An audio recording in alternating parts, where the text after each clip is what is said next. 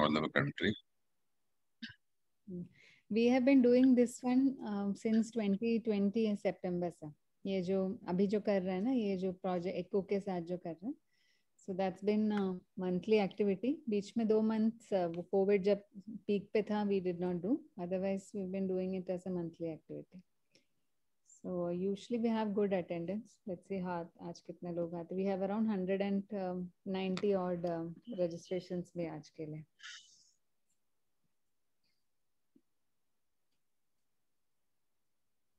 Sir आपको वो slides मिल गए थे ना? जी हाँ जी. Well coordinated by you. Well coordinated. नहीं सर, just join कर. ये, वो उसका होता है सर उनका बैनर लगा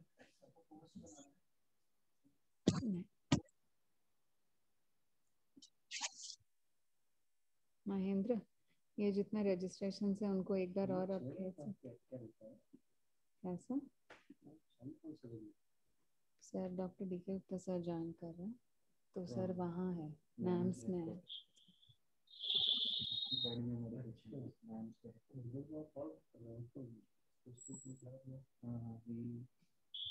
सर उनका कुछ फ़ंक्शन है सर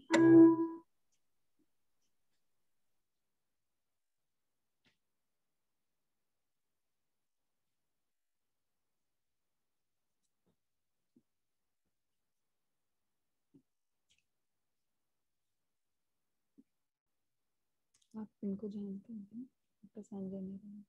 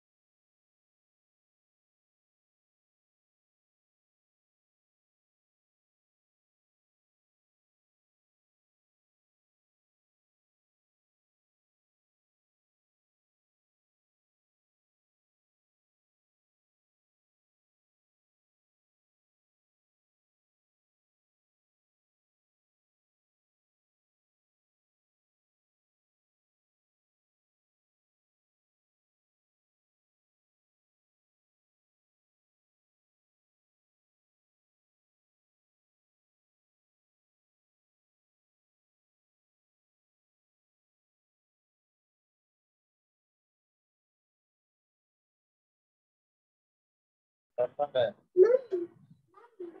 बनाना खाया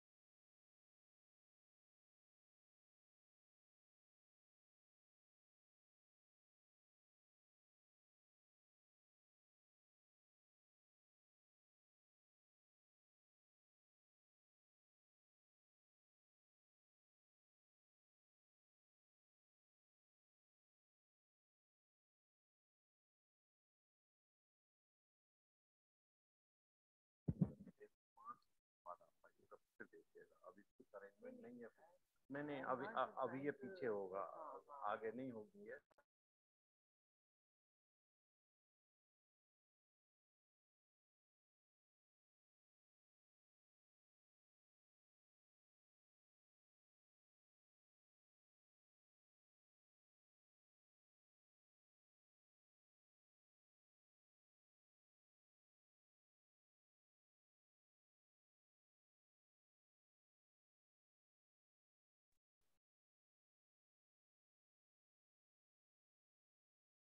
We are not able to get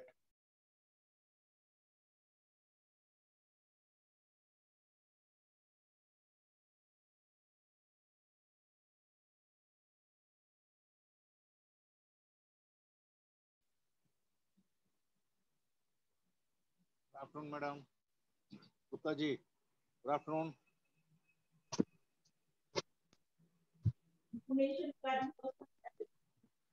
Hello, madam. Good afternoon, madam. Suramani, madam.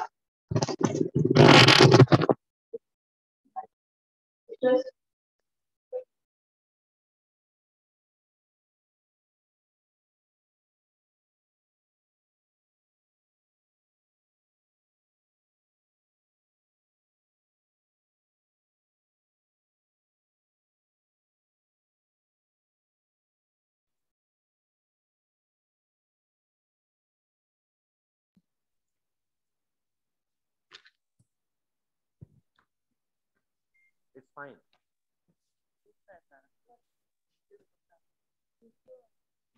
Good afternoon, everyone.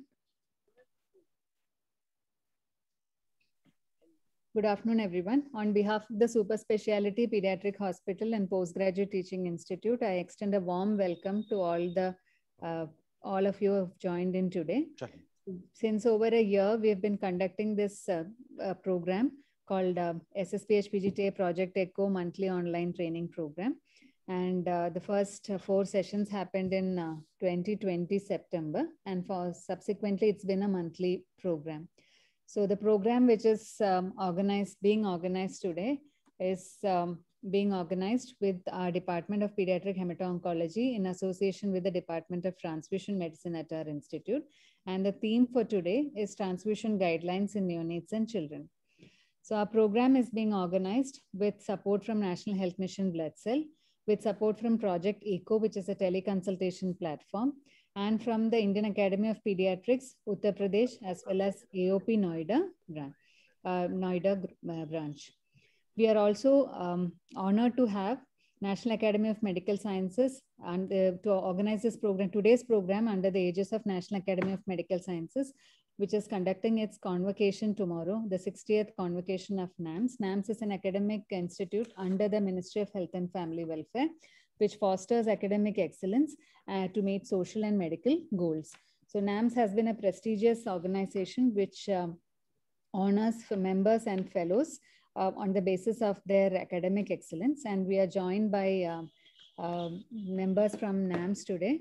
We have um, Professor Chudamani Gopal, Professor Rani Kumar, and Professor D.K. Gupta sir from NAMS who are joining us today. So the program today will be, this is the institute, that this is the um, timeline of events for today. We'll have a first session, which consists of three talks followed by a second session, which is a case discussion session. So as per the ECHO program, we uh, generally make it a case-based discussion to address common issues pertaining to the topic. So those of you have joined earlier would know that we've done similar programs with pathology as well as with transfusion medicine. So we discuss common issues that come up in clinical practice and how um, as um, with collaborative efforts, we're able to sort it out. So before I proceed with the program, I would also like to invite um, Srimati Vinita Srivastav ma'am. Ma'am is advisor for the Ministry of Health and Family Welfare. Ma'am has joined today. So uh, ma'am, if you could say a few words on this occasion before we proceed.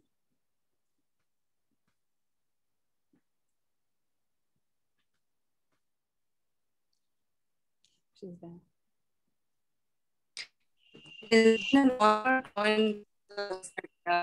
uh, basically, the, uh, very interesting themes. Can you, you all can hear me? Audio is breaking, ma'am. Okay. So now can you hear me properly? Now better, ma'am. Okay. So it's been a uh, uh, is a privilege for me to join this and to learn also because uh, pediatrics is very important for all of us. We understand in a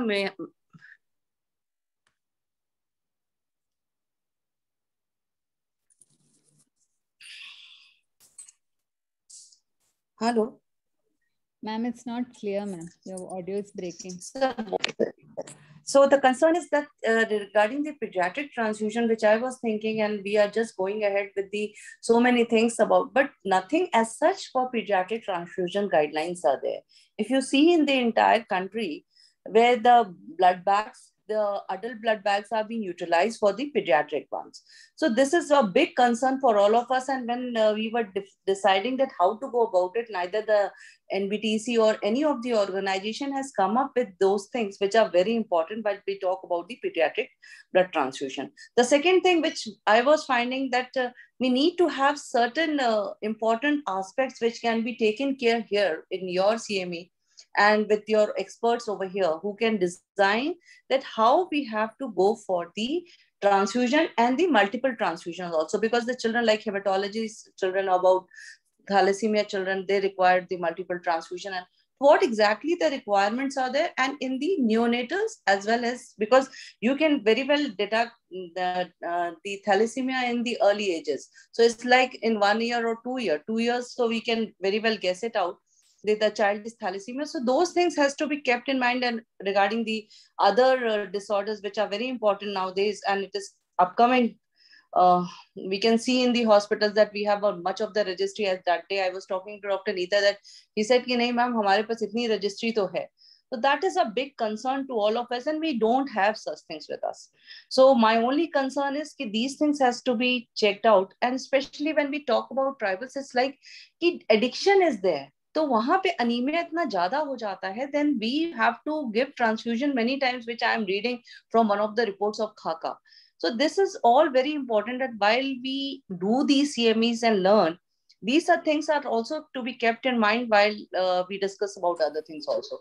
And the third thing which is very important about the processing which we understand that processing is important.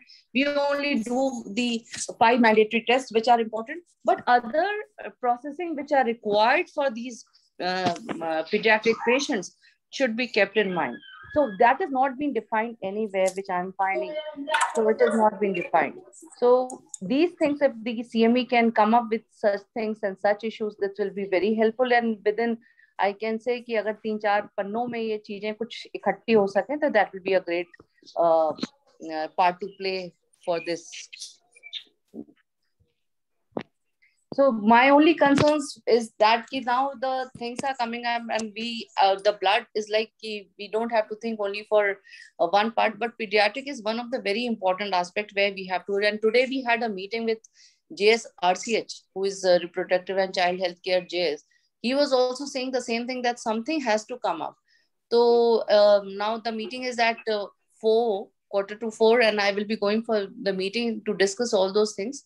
I will also discuss these things uh, where you guys can be a uh, help to me to divide or define these guidelines into this. Thank you so much.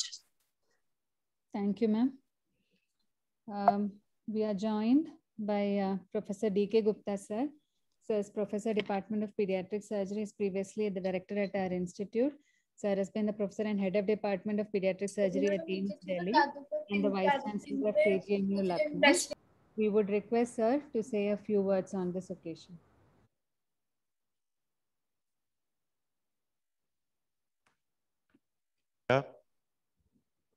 Uh, on behalf of the National Academy, we have the pleasure to welcome uh, holding this ECHO program on the guidelines for the blood transfusion for neonates and children.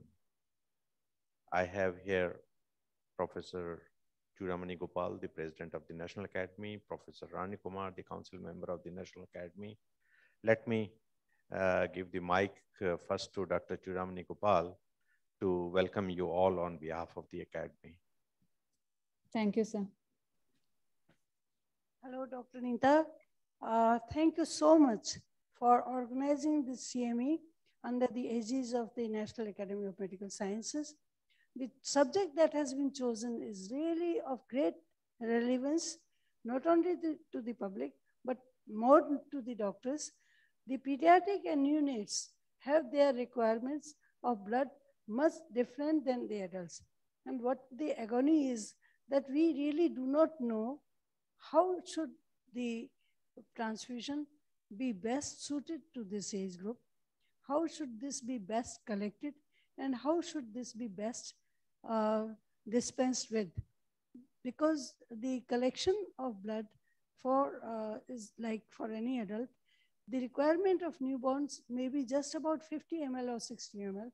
And then what to do? Uh, what a wastage of uh, blood and therefore, in these deliberations, when you are taking, uh, taking up, you must may have to come up with uh, stimulating some biomedical scientists, not only just the doctors, how to make small, small portions available as per need, not as per divide, division at the time of need.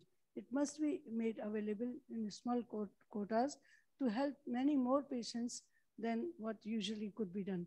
And of course, um, how to prevent uh, the hazards of blood transfusion in young babies would be highlighted.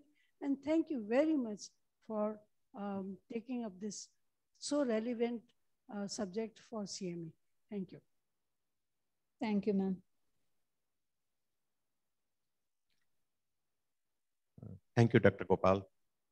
Uh, Nita, once again, I wish to uh, thank you for all your efforts and also uh, the support uh, from the blood bank by Dr. Seema Dua Satyam and the team who have been doing uh, really very hard work uh, and keeping themselves with the recent advances in all fields, whether to develop the department, uh, with the advancements in the equipments, the technology, and developing the new, new, newer techniques with cutting edge technology uh, in the department. Uh, as we all know, lot of changes have happened during the past 20 years or so for the transfusion, uh, especially in the newborns and children. Their basic requirements uh, for surgical conditions, infections, exchange transfusions, hemophilias, thalassemias, and uh, several other conditions. Uh, from the blood bank point of view, for all the participants in this group are uh, to remember three S. One is the uh, supply.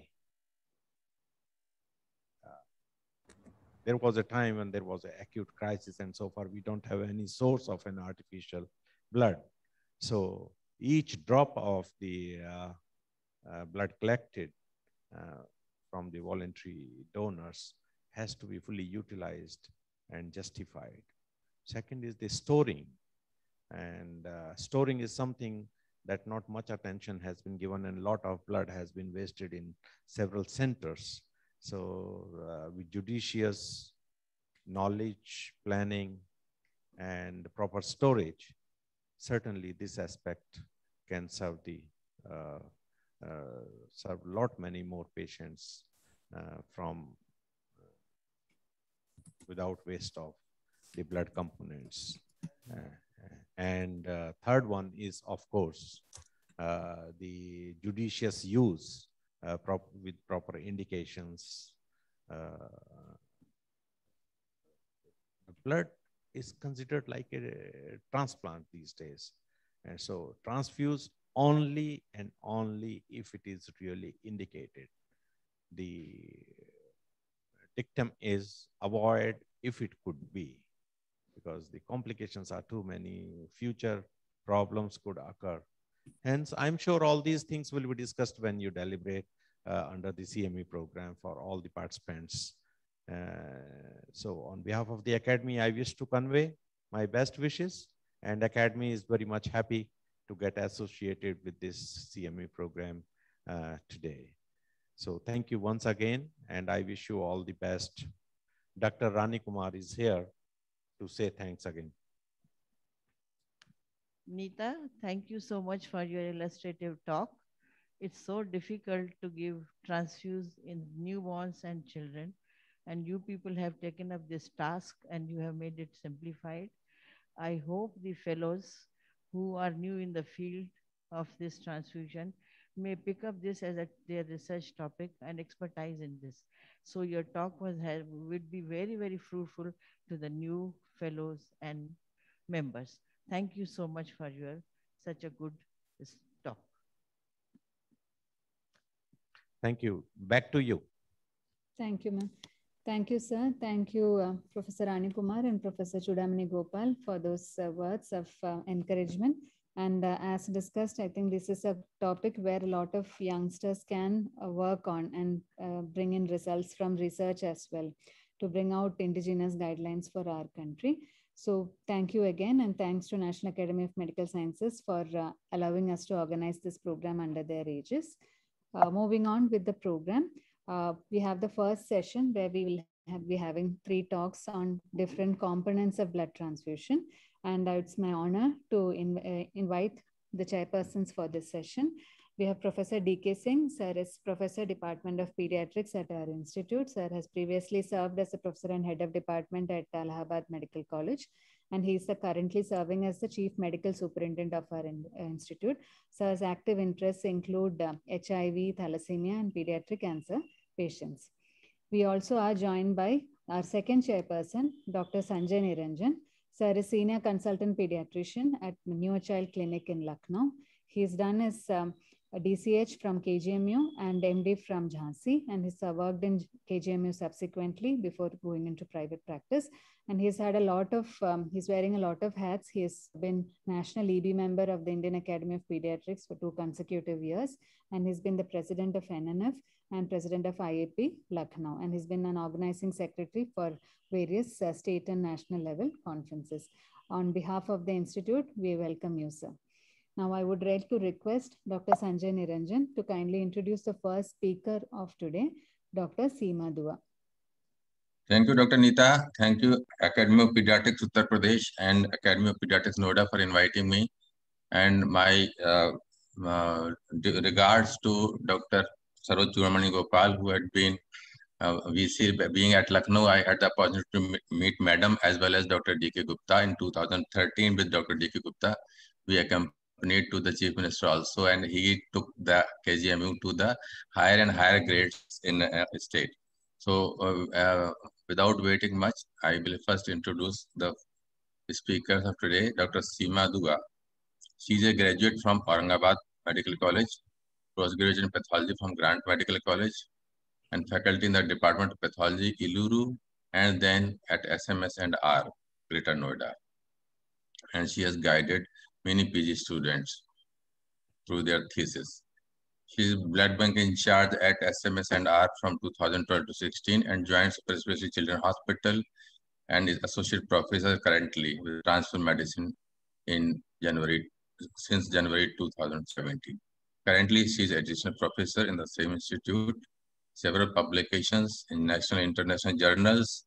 Areas of interest are hematology, transfusion, transmitted infections, and immunohematology.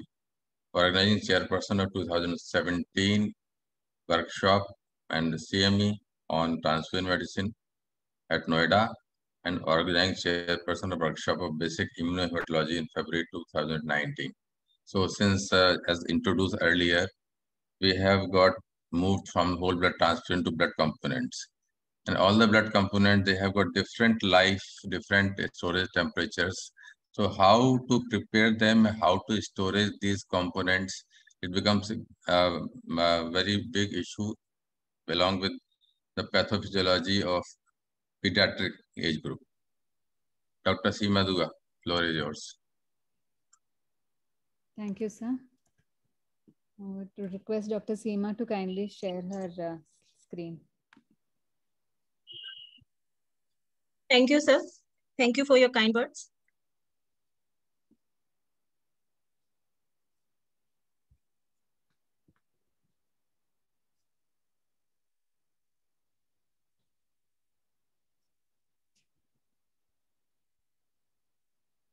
From the beginning. Yes, ma'am. Uh, slide share also. Just a minute, sister.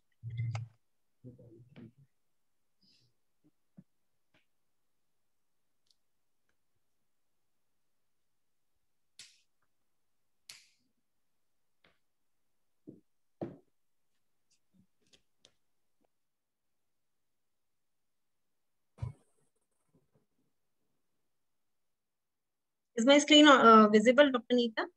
Yes. Thank you, sir. Uh, good afternoon, everyone. I would like to welcome everyone for this monthly training session uh, held at SSPH PGI online training program. And I would like to congratulate Dr. Nita for the same for organizing uh, similar training programs every month.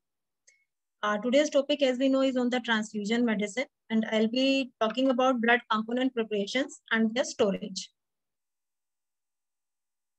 Uh, to begin with, as we know, uh, this component therapy has been uh, is a recent thing. It is introduced some three to four decades uh, in the past. Prior to that, there was only whole blood which was issued to the patient, but it caused unnecessary administration of all the components, all the constituents of blood, which may or may not be needed in the particular patient. Later on, the significant advancement that happened in transfusion medicine the various equipments that became available, different kind of blood bags that became available, and the preservative solutions. These made the uh, component therapy possible everywhere. Uh, if we look at the historical background, in 1926, first human transfusion was done by the British Red Cross Society in uh, 1926. In 1940, the freeze-dried plasma was developed during the Second World War. Uh, in 1950, glyo, glycerol cryoprotectant for freezing red blood cells was developed. And in the same year, plastic bags for uh, storing whole blood were developed. In 1979, anticoagulant preservative CPDA1 was developed because of which it, it was feasible to have blood for to store uh, PRBC or whole blood for 35 days. So all these were the uh, smaller milestones which later on led to the component therapy. Before starting with the components, we need to know several terms. The whole blood, which means unseparated blood that collect from a donor in a bag, in a plastic storage bag, which has anticoagulant, uh, anticoagulant as a preservative solution. Components are the therapeutic parts or constituents of blood which are which are prepared from whole blood like red cell plasma platelet and cryoprecipitate. Plasma derivatives these are the plasma proteins which are prepared under pharmaceutical conditions like albumin different proteins and coagulation factors. There are various terms that appear in the component. When we study about the components these are closed system. That means a system where the sterility of blood is maintained. That means it is not exposed to air or outside environment and the open system is a, is a condition when the collection is exposed to air and this exposure to air reduces its, its expiration date or the shelf life of the blood component. Uh, coming to the collection basics, that is how we collect the blood from a donor. Blood is collected in a primary bag that contains anticoagulant. These anticoagulants these minimize the biochemical changes in red cells and increase the shelf life of blood.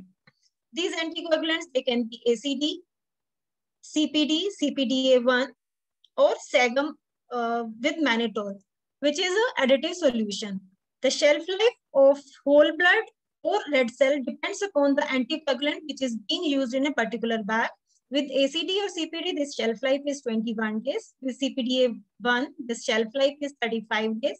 And if we introduce SAGM also along with the CPD, the shelf life of uh, RBC becomes 42 days. The blood we collect in a primary bag. Along with the primary bag, uh, different satellite bags are attached. Now the number of satellite bags that depends upon how many components or which component we intend to prepare. Depending upon that, these blood bags are single bag, double bag, triple and quadruple bags. Satellite bags, these can be attached either from the top of the primary bag or the main bag or from the bottom of the primary bag. So these are the pictures that I could get uh, of the blood bags. This is a triple, uh, this is a bag, we call it as a triple blood bag. In this, both the satellite bags, they're attached from top of the main collecting bag. This is a quadruple bag. Here, the satellite bags. This is the main bag in which we take the collection. And these satellite bags, these are these two are collected from the top and one is attached from the bottom of the uh, main primary uh, collecting bag. Blood, as we know, it is comprised of three components. Uh, cellular components and the plasma. In the cell, there are red blood cell, white blood cells, and the platelet. Red blood cells, they constitute, constitute about 44 to 45% of the total. Plasma constitutes 55% and less than 1% is of white blood cells and the platelets. When we separate blood, whole blood that we collect, when we separate, we can uh, separate into either the cellular components or the components that contain only plasma. The cellular components are packed blood cells, platelet concentrate, single donor uh, apheresis platelets. This apheresis is a, a technique in which we collect only one component from the donor itself. But at the time of uh, collection only, we take only, we take out the whole blood, collect only intended product which is required for a particular patient and rest of the components, they are uh, returned back to the donor's body. The other cellular component is granulocyte and buffy coat. In the plasma-derived component, there is fresh frozen plasma, cryoprecipitate, cryopoor plasma, and the, there can be single donor apheresis plasma. Coming to the methods of component preparation, the components can be prepared either by the gravity separation or centrifugation. The basic principle behind separation of whole blood into components is the different uh, specific gravity of different components of blood. Uh, as the red blood cells are heavier during centrifugation, they come at the bottom of the bag, while plasma being the lightest component, it becomes as a supernatant. Now, in the first method, the gravity separation method, this is an old method, very old and crude method, but it is a cheap method and it does not require uh, many uh, elaborative and expensive uh, equipment which are indeed required for the centrifugation process of component separation. Uh, this can be, this is still being used in the peripheral areas where these component uh, machines are not available. Here the blood which is collected is kept in hanging position overnight from 12 to 16 hours. And after that plasma is expressed from top and is labeled as single donor plasma and stored in deep freezer uh, at minus 40 degree and it can be used for one year. While the remnant portion which is in the main bag that is PRBC it is stored at 2 to 6 degrees. By the centrifugation we use different speeds, different time durations for which the whole blood is uh, spun in the uh, refrigerated uh, centrifuge and the different speeds. Depending upon that, we can give light spin to the whole blood or hard spin. In the light spin, they will, uh, this is for the shorter time and at a lower speed. Like it can be around 2600 to 3000 RPM for five minutes. And hard spin is at a higher speed for longer duration. The various equipments which are required for uh, component preparation, these are weighing balance to weigh, to have the accurate weight of the blood bag that we have collected two hand balance which is needed for uh, balancing the two arms which will be there in the centrifuge. Refrigerated centrifuge for the centrifugation, laminar airflow bench, all the work of component separation is done in this.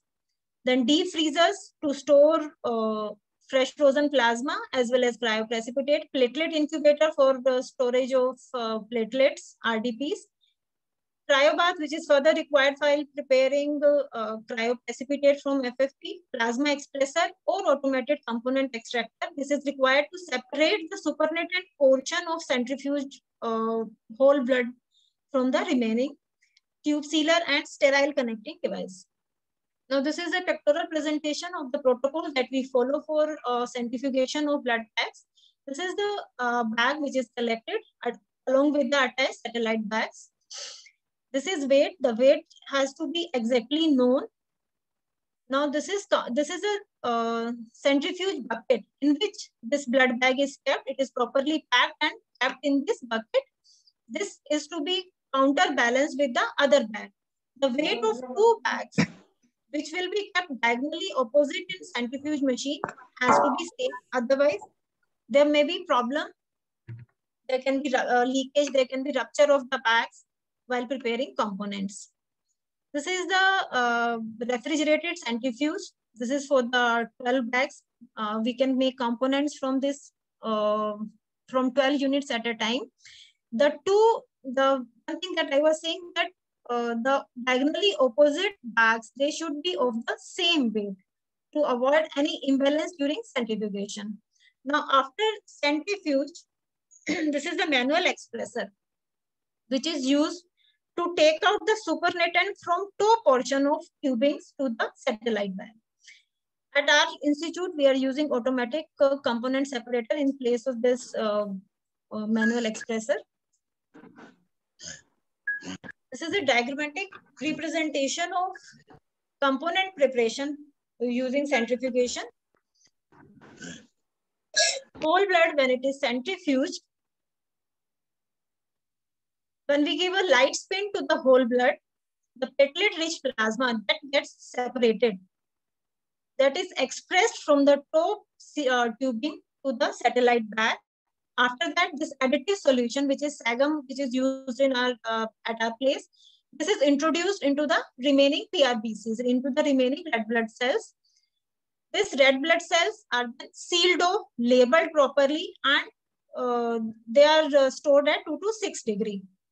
Now coming to the PRP which gets prepared, this PRP, again this PRP is centrifuged along with the remaining satellite bags at a heavy spin so that the platelets, they come at the bottom and the supernatant is plasma, which then gets separated. Platelets, these are stored at 22 to 24 degree with continuous agitation in the equipment termed as platelet incubator. Then this FFP, this can be stored at minus 80 degree immediately. If we need to prepare cryoprecipitate, this frozen FFP that is thawed uh, and again centrifuge to uh, take out the plasma portion and to uh, cryoprecipitate remains behind in the bag. This method that I was explaining with the help of last diagram, that is the PRP method of preparing components. PRP stands for platelet-rich plasma. The other method is Buffy coat method. In this Buffy coat method, we can uh, use this Buffy coat method only in top and bottom bags that I had shown previously. In this, the after the centrifugation, FFP is taken out. The remaining part is Buffy coat and the red cells in the primary bag. From the uh, bottom attachment of the main bag, red cells are taken out in the other satellite bags.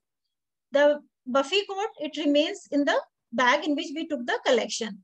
Now this, from this again, after hanging and centrifugation, platelets can be prepared or these Buffy coats can be pooled to make the pooled platelets. Both the ways are there. Coming to the red blood cells, red blood cells, as I said, they are stored in 2 to 6 degree. Shelf life depends upon the uh, additive solution used. Hematocrit of uh, red blood cells that varies from 60 to 65 to 75 percent. If we use a bag which is having additive solution, the hematocrit will be around 65 percent. While if it is not having any additive solution, then the hematocrit will be around 70 to 75 percent. Once this the shelf life, although it is, it varies from 21 to 42 days, but once the unit is open, it has to be used within 24 hours. There are several modifications in the red blood cells, although it will be taken in detail in later. Uh, these modifications are leukoreduced RBC, pediatric aliquots, RBCs, frozen RBCs, which are used uh, after deglycerolization, or saline washed RBCs and irradiated RBCs. The shelf life changes as per the modification. Leukoreduced RBC and pediatric RBC, they have the same shelf life. But irradiated RBCs, it is 28, for irradiated RBCs, it is 28 days or the actual expiry of the blood bag or the pediatric cell uh, of the red blood cells. Then frozen RBCs, the shelf life is 10 years. But once we wash them, once we it, it has to be used within 24 hours. Uh, this diagram shows you uh, the motto why we do leukoreduction. Normally the whole blood or the packed blood cells, they have WBC in the range of 2 to 3, 2, uh, 2.5 to 3 is to 10 raised to power 9, which is a very high count and it can cause many adverse effects or you can say uh, transfusion reactions.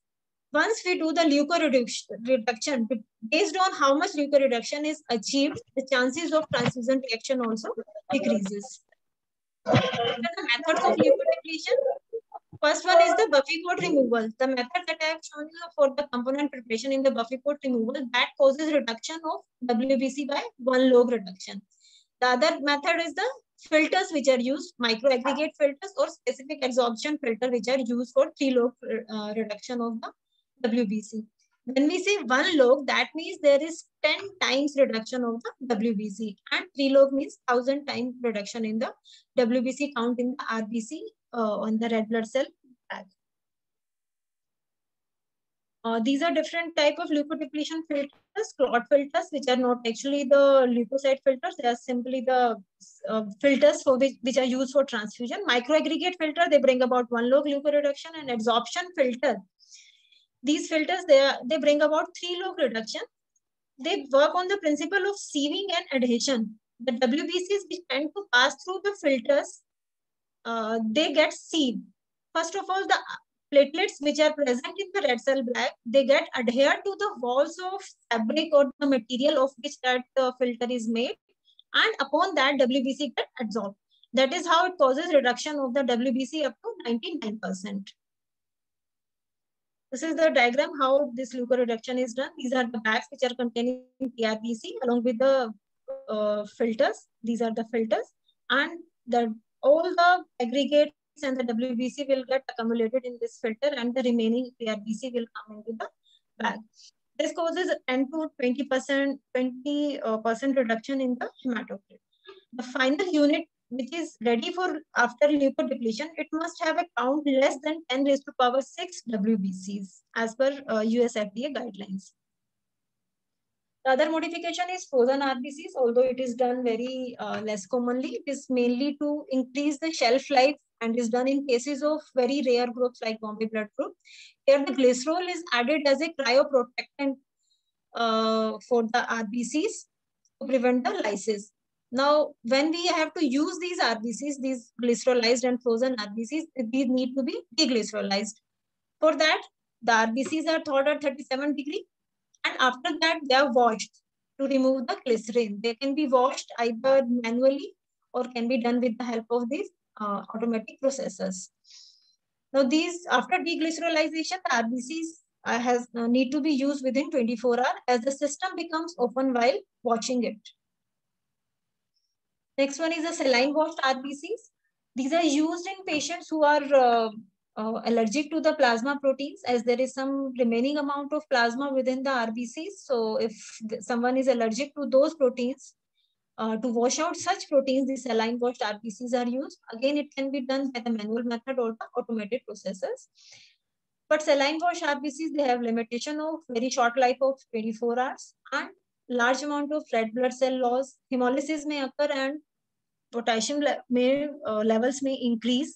And as it is an open system while doing the washing, there, is a, there are chances of microbial contamination. Next is the irradiated RBCs. Uh, blood products are irradiated to prevent the graft versus host disease. And this irradiation uh, can be done either using gamma irradiation or X-ray irradiators. Gamma irradiation using cesium 137 or X-ray or in linear X-ray radiations. The dose of radiation is 20, 25 to 50 gram. Next is the packed red cell aliquots. As uh, we are a pediatric institute, uh, we are using these packed red cell aliquots, that is paddy bags very commonly. There are the different methods which can be used to prepare these aliquots are either use of pediatric blood bag collection systems like pentabags or bags. In such bags, the aliquots can be prepared. The bags, there are, in the pentabags, there are four satellite bags which are attached to the main bag and directly the RBCs can be prepared in aliquoted in those bags. The other method is this uh, pediatric blood collection systems are less commonly used. but more commonly method is the aliquoting of the PRBC units, uh, where the uh, a transfer bag is attached to the PRBC unit using a sterile connecting device, and the desired amount of PRBCs are transferred to the smaller bags. We can give as small as 30-40 ml of blood, which are required in preterm babies or in uh, in uh, NICU patients. At our institute, we are doing uh, three equal aliquots of RBC if, if it is required. It gives a uniform volume of 80 to 100 ml from each PRBC unit, PRBC bag, and we are using the term paddy bags for this. Coming to the next component, that is platelets. Platelet, as we know, they are required for the bleeding disorder patients. So could you just um, just two minutes, just two minutes uh, for preparing platelet, we, we need to do uh, two spins. First is the soft spin by which we will get PRP or platelet-rich plasma and followed by a heavy spin to express out the plasma from the as a supernatant and the platelet concentrate that remain behind in the bean bag. These are stored at 2024 degree for five days with continuous agitation and each unit should be should be having 5.5 into 10 raised to power 10 platelets different type, the platelet that I was describing till now are the random donor platelet. Beside this, there can be pooling of the random donor platelets or platelet pheresis. Pooling can be done as an open system or it can be done in the automated system in which it is a closed system. Platelet pheresis, this is a apheresis procedure to have a therapeutic dose, uh, adult dose from single donor. Uh, this is the apheresis machine and the apheresis procedure going on, random donor platelets and the single donor platelets. This has almost five to six times of the uh, volume of the random donor platelets. Next is the fresh frozen plasma. Uh, fresh frozen plasma is to be separated within eight hours. It is stored at minus 40 degree for one year. Uh, before issuing, it needs to be thawed at 30 to 37 degree and after thawing, it can be stored at 1 to 6 degree up to 24 hours, uh, beyond which it is uh, not of any use. And once thawed, it should not be refrozen. Cryoprecipitate is prepared by thawing FFP and storage conditions are same as that of uh, FFP and it should also not be uh, refrozen once thawed. It contains different clotting factors which may be required for the patients. Next is the granulocytes uh, are WBCs, there are different types, lymphocyte, monocyte, and the granulocyte. Granulocyte are in the abundance. These can be prepared by granulocytopheresis, just like platelet pheresis, there can be granulocytopheresis, for which the patient needs pre-preparation or the donor needs pre-preparation in the form of uh, either steroid or GCSF, or granulocytes can be used from the Buffy coat. Neutrophils are most numerous cell which are present in the granulocyte and they are required. These, uh, this component is mainly required in the neutropenic patients who are uh, having either bacterial or fungal infections and not responding to any sort of treatment. They're also used in, for, uh, as a supportive therapy in uh, hemat malignancy patients. The dose is 1 into 10 raised to power 10 for the adult patients and they are stored at 20 uh, at room temperature for 24 hours. They can be stored in platelet agitator without shaking those agitators. Thank you. Thank you, ma'am.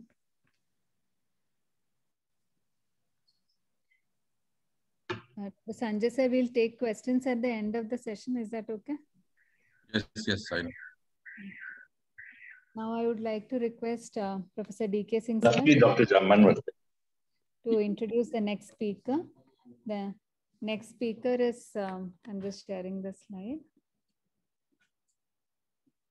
The next speaker is uh, Dr. Sangeeta Pahuja. Over to you, sir.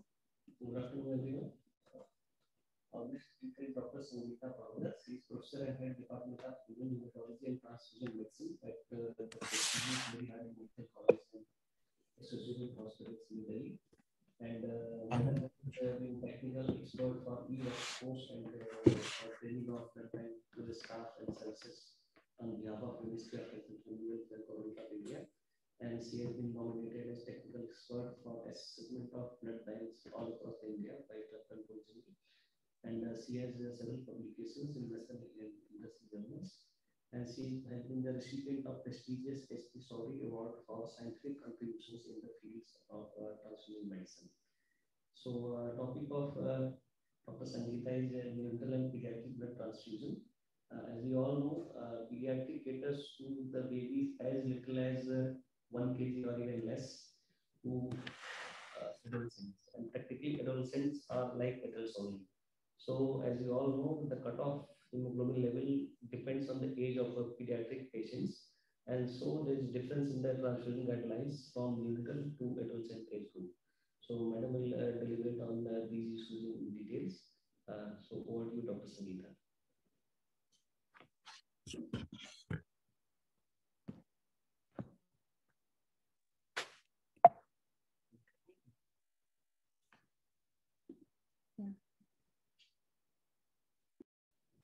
I'm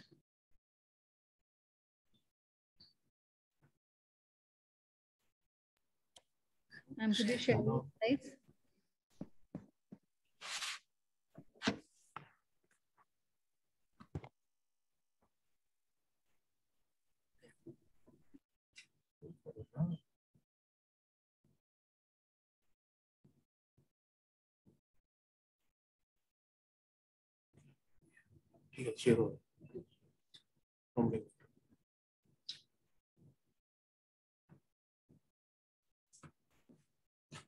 Good afternoon, everyone. Uh, at the outset, I'd like to thank everybody from SSP uh, mm, uh, PH Hospital for giving me this opportunity to talk on red cell transfusion triggers and modifications for pediatric use. So, um, pediatrics is a very heterogeneous group. It, this includes neonates, preterm, term, hemoglobinopathies, PICU patients, etc. So, uh, for transfusion medicine purposes, Uh, Excuse me, ma'am. am could I you audible, ma'am? Yes, ma'am. But could you project your slides? It's in the, Okay, are they not visible? I am. It shows that I am sharing my screen. it does. Could you do slideshow as well? Just a minute. Full screen, full screen. Okay. Better, ma'am. Right, thank you. So uh, for practical purposes for transfusion medicine, neonate is considered up to four months of age because the, uh, uh, the, uh, the blood grouping antibody screening procedures are different. Child is not a miniature adult because physiology and compensatory mechanisms are very different.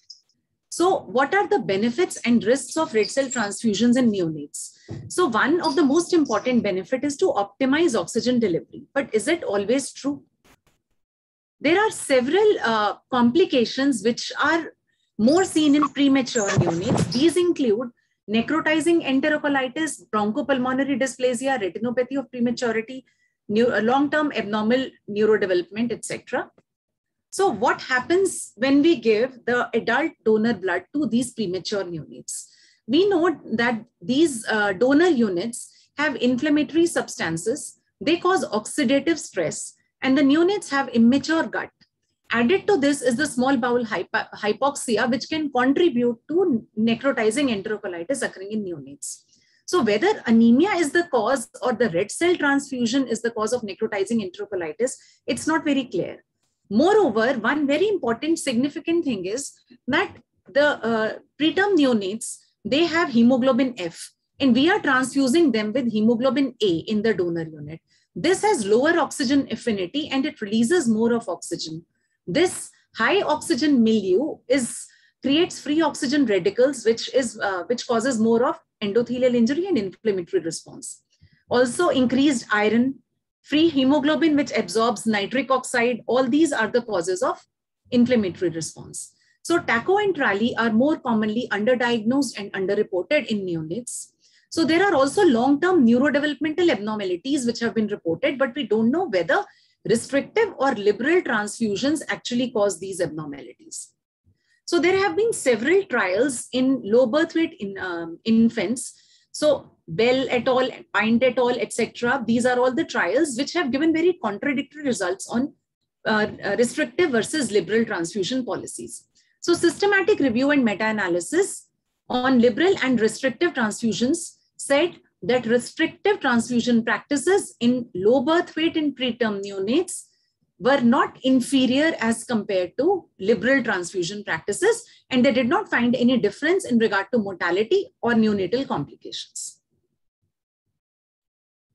So there is a recently concluded ETTNO trial, which also said that liberal and restrict, restrictive transfusion policies, they had the similar impact.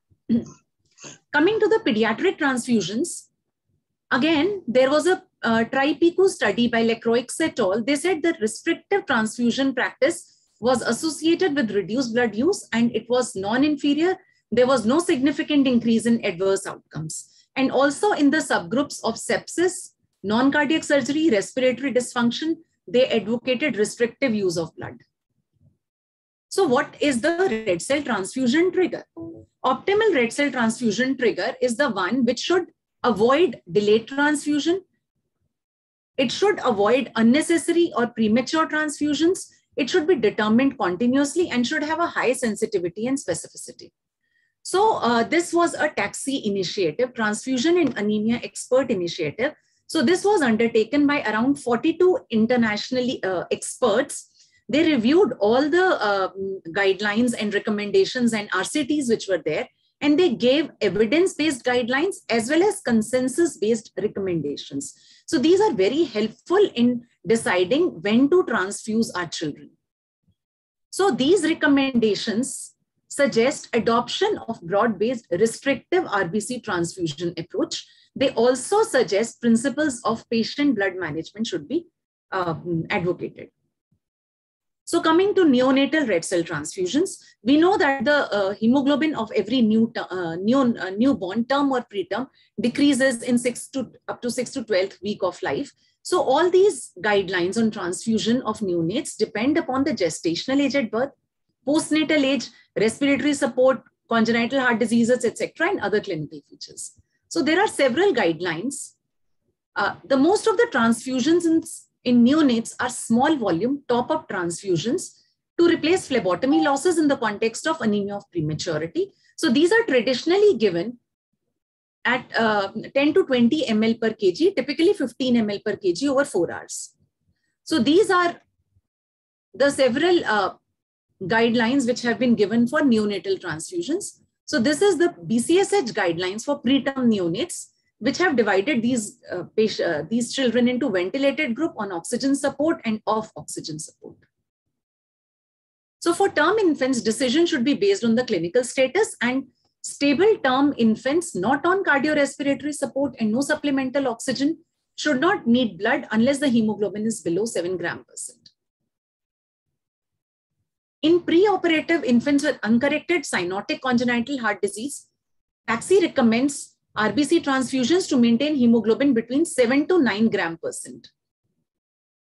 Next is the transfusions of large volumes in, in neonates that will happen in their surgical situations. So whenever we are giving large volume neonatal and infantile transfusions, it should be, the blood should be fresh, preferably day five to day seven. All large volume transfusions should be given via blood warmers. So for ECMO also, there is not enough evidence and it should be based on the clinical justification.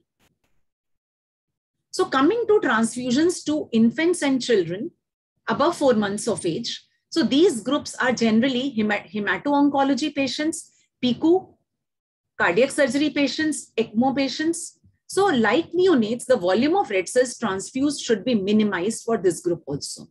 So this is a very good table which has been given by the TAXI initiative They say whenever the hemoglobin is less than 5 gram percent, transfuse RBCs. If hemoglobin is more than 7 gram percent, then in hemodynamically stable, in all these conditions, there is no requirement of red cell transfusions. But the we need to consider a higher threshold in acute brain injury, oncologic diagnosis. It's um, and for hemoglobins between 5 to 7 gram percent, the clinical judgment is required to decide whether transfusion is required or not. Then they have also given for the several cardiac diseases what, what is the uh, threshold which needs to be used. For uh, stem cell transplant or oncology patients, there is no specific evidence to guide the optimum hemoglobin transfusion threshold, although current practice suggests that threshold between 7 to 8 gram percent is reasonable. Then chronic anemia patients due to red cell aplasia or bone marrow failures, they may require hemoglobin thresholds of 8 or more. Then surgical patients, now what is important is that in a surgical patient who's stable without major comorbidity or bleeding, we can keep the transfusion threshold of 7 gram percent. But more important than that is preoperative hemoglobin should be optimized by treating iron deficiency anemia. Tranexamic acid should be considered Red cell salvage procedures should be considered in all children at risk of significant bleed. So then there are also guidelines which have been given for the cardiac surgery. I won't be going into the details. So very important part of transfusion management of these patients is patient blood management.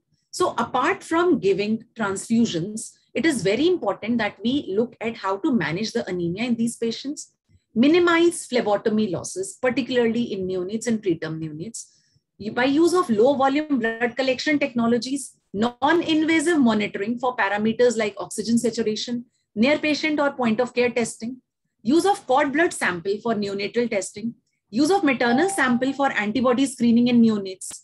Then delayed cord clamping. This is very, very important that cord clamping should be delayed by at least one minute or till the cord stops to pulsate. This increases the hematocrit and decreases the uh, iron deficiency anemia for long time in neonates. Then optimization of surgical and anesthetic techniques, all these go a long way in managing these ch children. Now, what is the optimal storage time? We all know, uh, we tend to feel that we should give fresh blood to neonates, but this is not always true. So in vitro changes occur in red cell units. This involves biochemical, metabolic, and mechanical changes. So we know that the older units, they have more potassium levels, less of 2,3 DPG levels. So there was this trial which was conducted in Canada, ARIPI trial, wherein in one limb they gave the fresh blood to the patients and in another one, they gave the blood up to 42 days to these patients. So they saw that there was no difference in mortality or composite outcomes in both these groups. So it is safe to give the uh, blood up to 42 days storage time to neonates in top-up transfusions. So evidence available and existing guidelines do not recommend routine use of fresh RBC units for top-up or small volume transfusions, but specific clinical situations which warrant the use of RBCs with shorter storage time. These include intrauterine transfusions, large volume transfusions, exchange transfusions, cardiac surgeries, and use of irradiated blood products. Next important concept in pediatric transfusion practices to minimize donor exposure by use of PD packs and aliquoting. Dr. Seema Dua has already talked about it, so I won't go into the details. But the main uh, mm, uh focus of reducing the donor um, uh, of aliquoting is that we can give blood from the same bag, that is a dedicated unit, to one patient for 42 days and it will not harm the baby. So we should have our own algorithm of how we will um, uh, uh, allocate these PD packs. So this is the um, template of BCSH um, PD pack allocation algorithm. So important benefit of PD packs is that it uh, reduces the donor exposure. Then another important concern in pediatric um, population is red cell additive solution we know that additive solutions um, at AS1, 3, SAGM, etc., they contain adenine and mannitol. Adenine can cause renal toxicity and mannitol is a potent diuretic and it can cause fluctuations in cerebral blood flow of preterm infants. So it has been now seen that in small volume transfusions, these additives are safe. However, safety of additive prepared, additive solution prepared RBCs in trauma-related massive transfusions, ECMO, cardiac surgery or exchange transfusions has not been studied. So in US, still many large volume transfusions um, are, are done in RBC suspended in additive solutions. But the BCSH strongly says that red cells for intrauterine and neonatal exchange transfusion should be suspended in CPD and not in the additive solution. So for our, our purposes, since all the bags which offer us pre-storage leukoreduction have additive solution, we can remove the additive solution and then we can replace it with the uh, mm, uh, compatible plasma. Next important concern is that what volume should be transfused to these patients. So there is a very simple formula that is the patient weight into the, the blood volume of the patient into the hemoglobin increment divided by the hemoglobin of the donor unit. So this amount, uh, this converts to 10 to 15 ml per kg of blood transfused. This will increase the hemoglobin by 3 gram percent if it is without additive or by 2 gram percent if it is in the additive solution. So the usual volume administered is 10 to 20 ml per kg per transfusion. Now, what is very important is that all the prescriptions for blood transfusions should be in milliliters and not in units. So this is a very, very important recommendation. Otherwise, this leads to either excess transfusions, under transfusions, or wastage of blood. Then next is the concept of irradiated blood. Irradiation uh, damages T lymphocytes so that they cannot cause graft versus host disease. They cannot engraft in the recipient. So in neonates, we use irradiated blood in intrauterine transfusions. In a neonate who has received IUT up to six months after the expected date of delivery, also for exchange transfusions and very low birth weight infants up to four months of age. French experts say that the preterm newborns less than 32 weeks gestation age, we should use irradiated RBCs. And all the babies, if they are weighing less than 1500 grams, we should use irradiated RBCs. Then another important group is all the, uh, all the neonates who have confirmed immune deficiency. So either congenital immune deficiency or a complex cardiac abnormality, which might be associated with immunodeficiency like DiGeorge syndrome. Now, what is the problem if we irradiate the units? This leads to a leakage of large amount of potassium. So, the, um, so this leads, this can cause hyperkalemia. So in such situations, like in intrauterine transfusions or exchange transfusions, irradiated units should be used within 24 hours. Next is use of CMV negative blood. So uh, CMV negative blood is suggested for intrauterine transfusions, exchange transfusions, and for neonates up to 28 days post expected date of delivery. So once the baby is four weeks of age, there is no requirement of CMV negativity after four weeks of age. Now coming to um, the exchange transfusions, exchanges blood transfusion is performed to manage high or rapidly rising bilirubin, more commonly in the settings of hemolytic disease of newborn. So how do we do and which components do we uh, give for exchange transfusion? So the component for exchange transfusion should be compatible with both mother and the baby, and it should be negative for the antigen which the mother against which the mother has an antibody.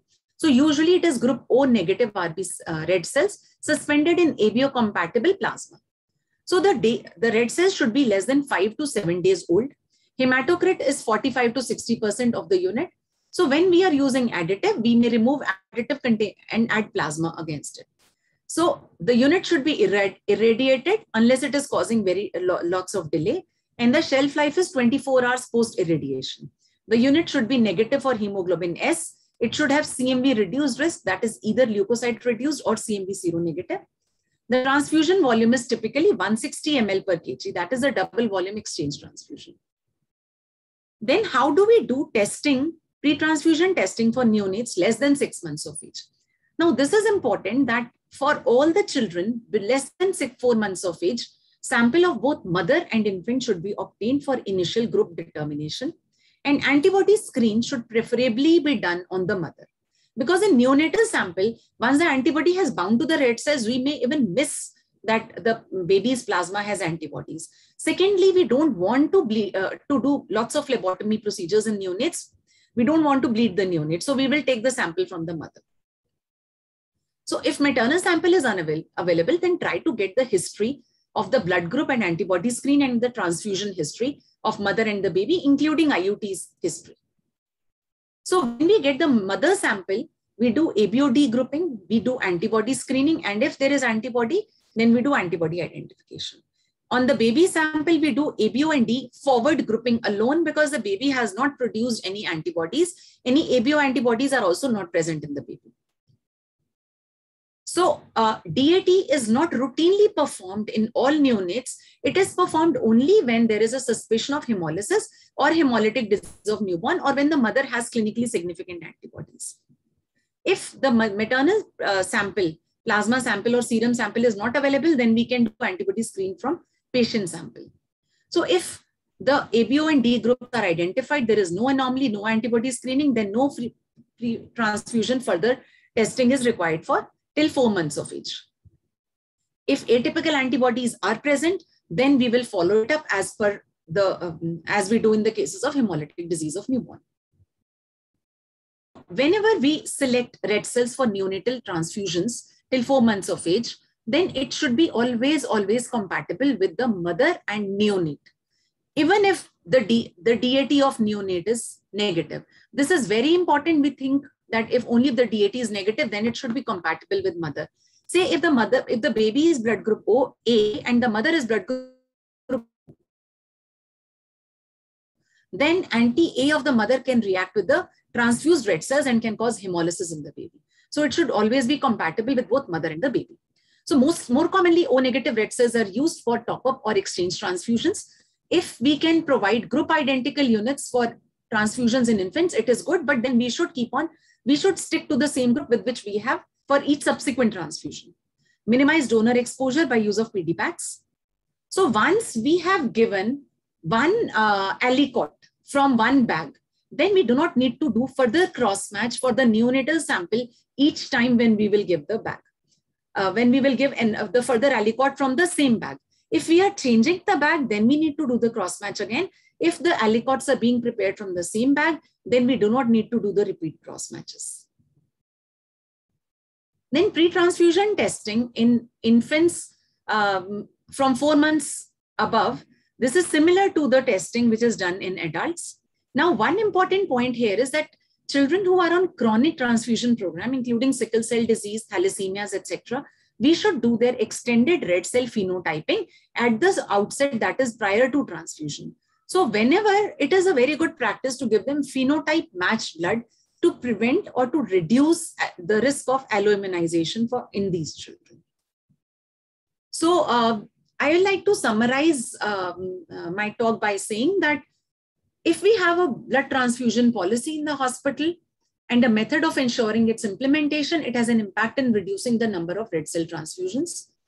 When deciding to transfuse a critically ill child, not only the hemoglobin, but overall clinical context, risks, benefits, and alternatives to transfusions should be considered. In critically ill child, the hemoglobin should be, measured, um, should be measured before prescribing the red cell transfusion. Restrictive transfusion approach should be adopted and patient blood management strategies should be adopted as much as possible. Thank you. Thank you for your patient hearing.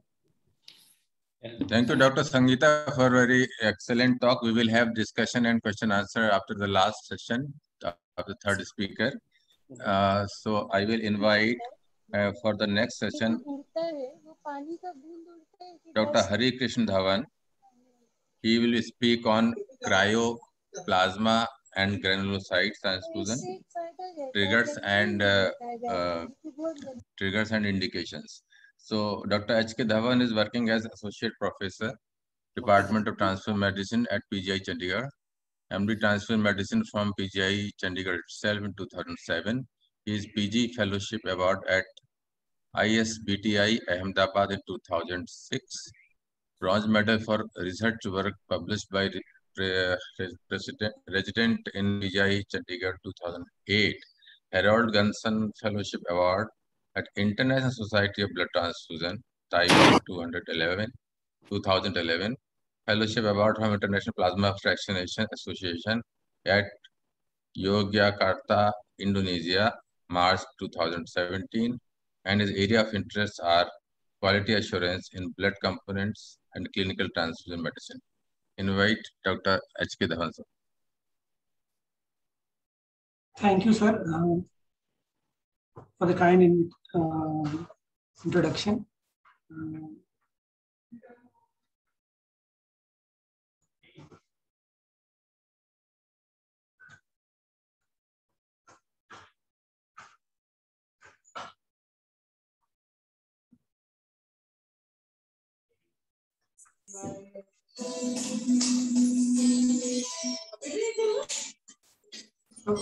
is my screen visible, sir? Am I audible? Yes, visible, visible. Okay, so uh, we'll be discussing uh, the platelet, plasma, cryo, granulocyte, their indication triggers for pediatric use. So, uh, so we'll be covering these four components, platelet, FFP, cryo, and granulocytes. So uh, these are the uh, guidelines guidelines on uh, transfusion of fetus and neonates in older children so by BCSH. So the BCSH uh, usually gives a uh, grade on the recommendation uh, to the uh, any guideline they are giving. So I just want to highlight this first that the quality of evidence is graded as A, B, C, and D, which is A is when randomized control trial is available on some uh, topic. If observation studies are there, then it's C. If any other evidence is there, it's D. Uh, maybe uh, the uh, RCT with uh, uh, some limitations, it is, I think, graded as B. So the recommendations they are given as strong, which is grade one, or weak. So grade one is where the benefit clearly overweighs the risk and they use the term recommended.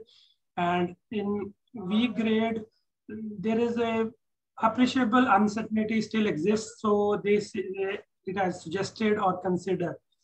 So these will be used uh, during my slides. So I just wanted to highlight at the upfront. So uh, first component uh, we'll be discussing is platelet concentrate uh, as already uh, been discussed or the preparation is done. I will discuss about the salient uh, specifications that this can be prepared both by whole blood called RDP and by pheresis called SDAP commonly. The volume is 70 ml for RDP and 200 ml for SDAP. The shelf life is five days at 22 degrees. So the important point is that platelet concentrates uh, from RDPs have around 55 billion platelets, uh, but the SDAPs have uh, the standard dose is 300 billion platelets. So the volume is three times, but platelet content is around six times uh, as a mean. Uh, so this is the product. So uh, while selection of the product, we uh, need to uh, consider these. And these can be converted into paddy packs, especially the SDAPs can be divided into smaller paddy bags using strice making device. And specific dose can be given to a neonate or a, a bigger children. So the dose is 10 to 15 ml per kg uh, for pediatric population. It is uh, generally considered for RDP as one RDP per 10 kg. And this increases the platelet count in neonates by around 50,000 to 1 lakh. And uh, similarly for the children. So platelet transfusion in neonates. So the uh, so as uh, although the uh, 50,000 per microliter is considered as severe uh, thrombocytopenia in neonates, but 25,000 is considered as cutoff for neonates with no bleeding, including uh, the NAIT patients with no bleeding and no family history of ICH. And 50,000 is considered for neonates with bleeding, current coagulopathy before surgery, and uh, in NAIT patients where the, sibling had the ICH.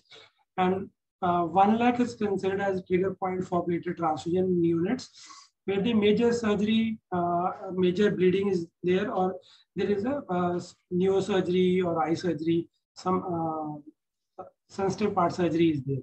But the as uh, we do not have uh, RCTs uh, on these um, uh, conditions, so the grade is 2C uh, for these uh, recommendations. So most of the platelet transfusion in in units is prophylactic platelet transfusions. So in extremely preterm infants, the trigger point should be uh, uh, below 50,000 per microliter and first week of life.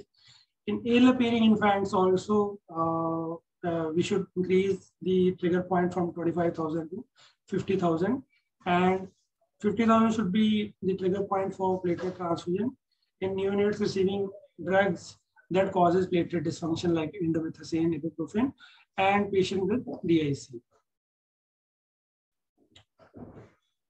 And uh, platelet transfusions are not given on the basis of only on the low platelet count alone. We should consider the uh, underlying diseases also. So ITP, HIT, TTP, HUS. So these are the conditions where platelet transfusion can exacerbate the thrombosis. So, so the platelet transfusion should be given in these diseases only when uh, there is a life-threatening bleed.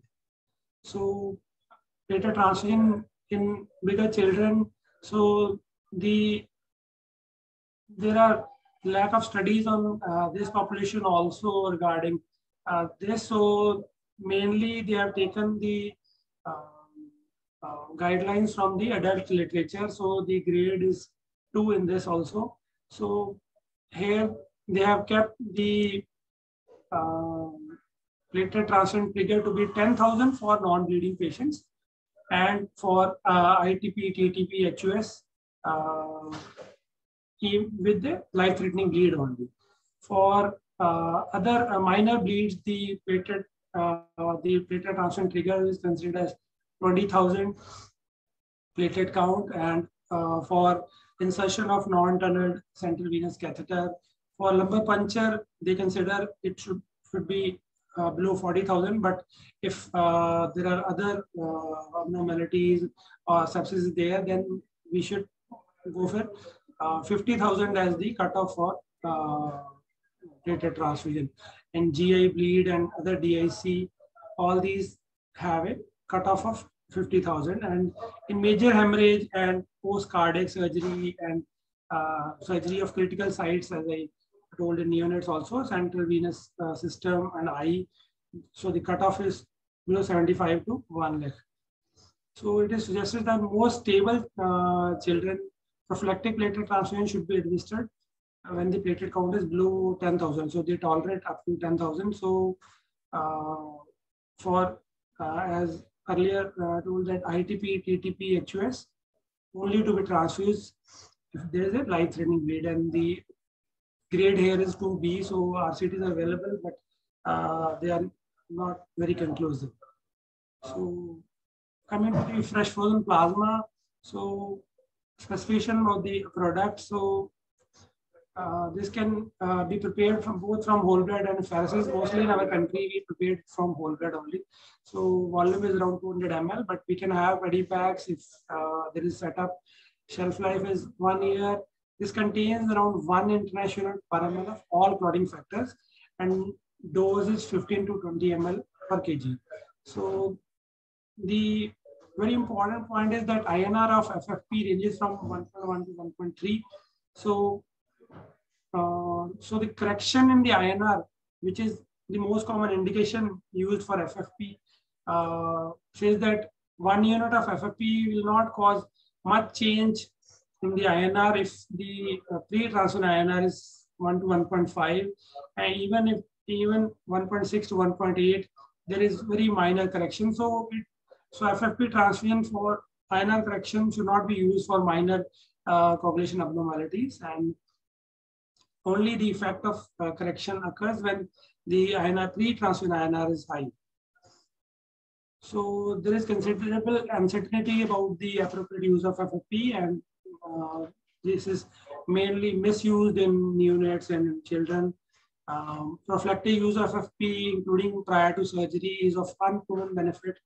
And in older children uh, and adults, we have uh, this PT, APTT greater than 1.5 as definition for adrenaline but uh, this is very difficult to apply in neonates, especially preterm neonates, uh, uh, given that the ranges may be uncertain uh, in this age group. So a policy of routine coagulation screen is inappropriate in neonates and this only lead to increased transfusion of FFP without benefit in this group. So recommendation for neonates, there is no evidence to support the routine use of FFP uh, uh, to correct abnormalities of coagulation screen alone without a bleed. So the grade here is 1C. So it is strongly recommended and uh, there are uh, observation studies regarding this. So FFP may be of benefit in neonates with clinically significant bleeding uh, prior to invasive procedures uh, where there is a significant prolongation of the uh, PT, APTT. And uh, but we need to uh, prolongation according to the gestational and postnatal age reference ranges. So the, recommendation is to C in this. And FFP should not be used for simple volume replacement, which is uh, usually used in neonates, and uh, it does not help to uh, prevent in the prevention of interventricular hemorrhage. So the uh, recommendation here also is very strong. It is 1B here. So there is a condition called purpura fulminans, which is secondary to uh, homozygous deficiency of protein C and protein S in neonates.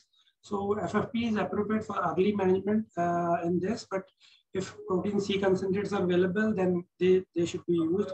And FFP should be used for management of severe hereditary protein S deficiency uh, if it is there in the unit. Then coming to the cryoprecipitates. So uh, as already uh, explained uh, the methods of preparation and everything. So this contains fibrinogen factor 8, von Willebrand factor, and factor 13. So this is mainly used for fibrinogen these days and um, guidelines uh, recommend transfer of cryoprecipitate if patient have a fibrinogen levels below uh, 100 milligram uh, per deciliter. And overall management of low fibrinogen is same in neonates as in older children. Cryoprecipitate may also be indicated in neonatal cardiac surgery and in major hemorrhage. So in cardiac surgery and major hemorrhage, uh, we can use uh, cryoprecipitates. In vitamin K deficiency bleeding, uh, four factor prothrombin complex concentrates are preferable over FFP. Uh, uh, although there is a little published data on this, vitamin K is recommended for every newborn infant and bleeding may occur after missed prophylaxis. So it is it should be given to all infants because uh, this is a common cause of bleeding uh, in, uh, in this patient group. So in older children, uh, correction of uh, minor acquired coagulation abnormalities in non-bleeding patients uh, regarding FFP and cryo. So the recommendations say that prophylactic FFP should not be administered to non-bleeding patients uh, with minor uh, PT and APTT. Uh, although if there is a major surgery, this can be considered. So prophylactic cryoprecipitate transfusion should also be should also should not be done only on the basis of fibrinogen degrees. And, but if there is a surgery planned and the fibrinogen is low, we can consider prophylactic cryoprecipitate transfusion and it should be considered only when it is less than one gram uh, per liter for uh, before the surgery of the critical sites. So in DIC, FFP may be uh, beneficial in children with DIC who have significant coagulopathy, uh, where the uh, it is more than 1.5 associated with clinically significant bleed uh, prior or prior to invasive procedures. Cryoprecipitates as as a standard should be given when fibrinogen is uh, less than one gram per DL despite FFP use. So uh, we have to use FFP first and if the fibrinogen is not improving and there is ongoing bleed, we can add cryo if the fibrinogen is consistently lower than uh, one gram per liter. Two minutes more, Dr. Dhawan. So FFP uh, and cryotransfusion in liver uh, diseases. So, so in liver diseases, diseases, so there is a hemostatic uh, system reset. So which is accompanying with reduction natural anticoagulants also. So it should not be uh, uh, taken the only the coagulation screen should not be uh, uh, taken only into the consideration while deciding this. So liver disease, the standard coagulating test may be misleading. So uh, they should not be only taken as a trigger to transfusion. So in warfarin anticoagulant reversal, uh, so FFP can be used in emergency, but uh, prothrombin complex concentrates can definitely be of help in this. And recommendation is that FFP should not be used in urgent warfarin uh, reversal unless uh, PCCs are not available.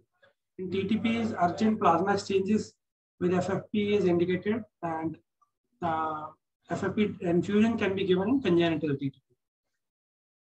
So in inherited uh, uh, disorders like hemophilia, specific factor concentrate should be given, but only the factor 5 uh, deficiency where uh, specific factor is not available, we can use FFP. Factor 11 deficiency, we can use FFP because uh, factor 11 concentrates can be uh, pose a risk of prothrombosis. So FFP should not be used in the management of uh, inherited factor deficiencies and cryo should not be used uh, in, only in hyperfibrinogenemia. Uh, fibrinogen concentrates are available for this purpose. So the final component is granulocyte concentrate. So they can be prepared uh, both from pheresis and whole and, and the granulocyte content of this is 1 and 10 per 10 per bag. So they must be irradiated before uh, transfusion. So, uh, so they are more mainly used in cancer-related neutropenia where patient is not responding to antibiotics, but there is insufficient evidence to recommend the routine use of granulocytes in neonates. And granulocyte transfusion may be considered for the treatment of refractory infection in children. So the evidence is 2C in this. So we need to do a pre-medication before this because they can pose uh, uh, transient reactions and they should never be uh, bedside leukoreduced because we want the granulocyte to be transfused. So the important uh, takeaway uh, from the uh, the guideline is that why we need to use this guideline is that the all these uh, blood components are tested for TTIs. They are uh, not guaranteedly negative. So, so the window period concept, the window period uh, is still existing even with the best of best uh, test available uh, for HIV. Even with ID-NAT, it is 4, 4.7 days. HCV is 2.2 days and HBV is 14.9 days. So we must stick to the guidelines and uh, do a rational use of blood so that we can avoid the serious reaction in this uh, sensitive population. Thank you. Thank you, Dr. Dhawan. Excellent presentation by all the speakers, Dr. Dua, Dr. Sangeeta, Dr. Dhawan, on almost every aspect of blood component therapy. So now the house is open for question answer session. Uh, one question from Dr. Sandeep Nigam that uh, is, I think, for Dr. Hari uh, that H.K. Dhawan only, uh, that uh, should we use the same pump for transfusion of plasma of platelets as the whole blood? And second thing, part second part of the question is, should we keep shaking the platelet container? So we can use uh, the, uh, if we have used the whole blood uh, filter for the whole blood we usually should change the filter uh, uh, the transfusion uh, set before each component transfusion. So platelets usually they get entrapped in the filter after it is used for long for the whole blood. And the second question was, sir? Should we keep it shaking to so avoid clumping no of, of, platelets? There is no need of shaking. Uh, so this shaking is basically for the blood bank uh, for the on the over longer period, these platelets can stick to the bag, but uh, before transfusion, you need not to shake the platelets. You can uh, hang the platelets and transfuse.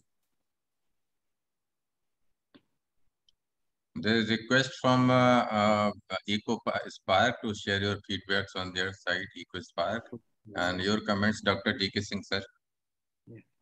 Yeah, there's one more question uh, from Dr. Nigam only. How to choose blood group for platelet transfusion or FFP transfusion in neonates? Uh, I think Dr. Sangeeta. Uh, Dr. Dhawan, can you please answer? How to choose blood group of platelet transfusion or plasma plasma transfusion in newborn babies? So for newborns, uh, we usually use uh, compatible uh, ABO compatible plasma, ABO specific plasma, and platelet components only. Uh, we, we rarely use uh, across the group, but they must be ABO compatible. So we can use AB plasma in all neonates even if uh, the specific group platelets are not available, we can use uh, AB platelets, but uh, specifically ABO and RH, we match for neonates and give. So for adults, we can give across the group also uh, for platelets, but for neonatal group, we usually give ABO RH matched platelets and ABO compatible plasma. Thank you just one comment, uh, since most of the audience must be pediatricians, uh, whenever a newborn is uh, referred to uh, some other place for uh, NICU care or some surgical condition for major surgery, we should always try to refer the mother if possible. And if it is not possible for mother to be referred, so at least uh, mother's blood sample should be sent along with the newborn baby. This facilitates the care of a newborn baby at the higher center. Otherwise, it's very difficult to uh, get the mother's blood group or mother's sample, especially the reference from far off places. And uh, it definitely delays the treatment of uh, major surgical condition or uh, when your baby requires blood transfusion. So as far as possible, we should try to refer the mother. If it is not possible, then at least we should set the sample of mother properly labeled along with the newborn baby. So that will help a lot uh, whenever the baby is into some center for surgical or medical treatment. Yeah, Dr. Niranjan, any comments? Yeah, so we can move on to this session. Dr. Nita. Yes, uh, Dr. D.K. Singh here. He can end the session and go to Dr. Nita for the next session. Thank you, thank you, uh, chairpersons, for uh, for hosting the first session of our today's academic activity. Now, as we move ahead, uh, we have our second session, uh, which is majorly the panel discussion. So our chairpersons for panel discussion is uh, Dr. Pandey. He is uh, a graduate from uh, MLN Medical College, Prayagraj, and has done his MD from Jhansi. Uh, he's a consultant pediatrician at the Kilani Mother and Child Care Center in Prayagraj and is presently the president of IAP Allahabad branch. He has various uh, executive posts in Allahabad Medical Association and is currently serving as association as secretary finance. Thank you for accepting, sir, our invitation and uh, finding time to be here as the chair. The next uh, chairperson is uh, is uh, Dr. Mukesh Kumawat. He is MD, MCH, MS MCH from uh, CTVS from uh, All India Institute of Medical Science in Delhi. He is presently additional professor and head in pediatric cardiac surgery at our institute. Previously to our institute, he has been serving at AIIMS Bhubaneswar and BHU Varanasi. So thank you, Dr. Mukesh, for accepting our invitation. We request the chairpersons to kindly introduce the panelists and take the proceeding further. Thank you. I request Dr. Uh, to introduce uh, Dr. Ruchi Rai and Dr. Siddharth.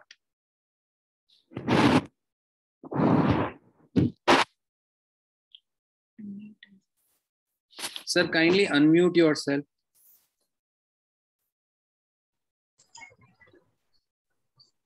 Thank you, Dr. Satyam, for giving me my introduction. And I'm thankful to all the organizers of the CME. And I'm, I've got privilege to introduce the Dr. Ruchi Rai. She's she, she was formerly the head in Department of Pediatrics at MLN Medical College, Allahabad, which is my alma mater also. And she established in level three NICU at uh, MLN Medical College, Allahabad and she has published more than 40 papers in the index journals and she has authored numerous papers in the books.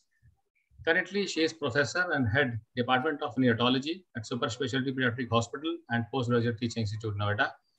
And I have got privilege of working with him, with her when she was working was in Allahabad and the, he, the city was obliged to him. We, she took care of the pediatric patients of Allahabad very nicely.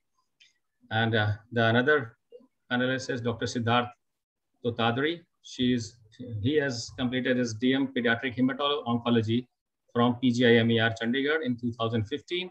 And currently he is associate professor in the pediatric hematology oncology unit of the CMC Vellore. So I welcome both of you. And or now to Dr. Mukesh Kumawat to introduce other panelists. I would request uh, A very good afternoon to all the panelists and other, other attendees who has made this uh, webinar successful. Myself, Dr. Mukesh Kumar, and uh, I'm going to introduce the remaining two panelists. For you are unmute, you are muted, sir. Please unmute yourself, Dr. Satyam.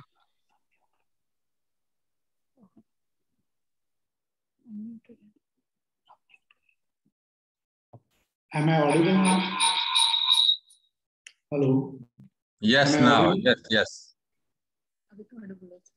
Okay. So I am very privileged to introduce uh, the other two panelists. The third panelist is Dr. Satyam Arora.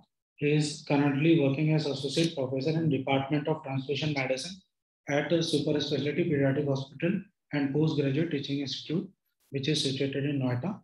He has done his MD in Transfusion Medicine from PGI Chandigarh.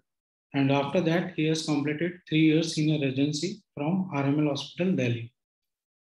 He also worked as observer to the Department of Hemato-Oncology and Bone Marrow Transplant at Taussig Cancer Center, Cleveland Clinic, USA. That was in 2015. And he has also been awarded with Dr. Harold Gunson Fellowship by ISBT at Mexico in 2012. He is member to Technical Review Committee for Hemovigilance Program of India. He is also chairperson and South, uh, Southeast Asia representative for Young Professional Council of ISBT and he is member of manuscript review panel at IJHBT, AJTS, and JIPH. And he has more than 32 publications, and uh, most of them are. So I welcome Dr. Satyam Arora. And uh, our next panelist. Uh, again, uh, our next panelist is from my institute only, Dr. Radha Krishnan.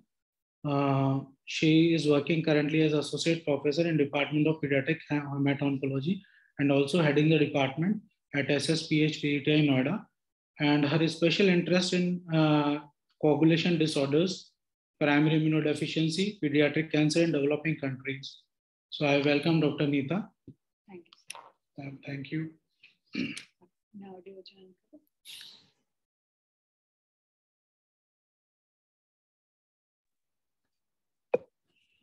Thank you, sir. So I think we'll start with the panel discussion. So we're running a little short of time. We'll try to make it up here. And uh,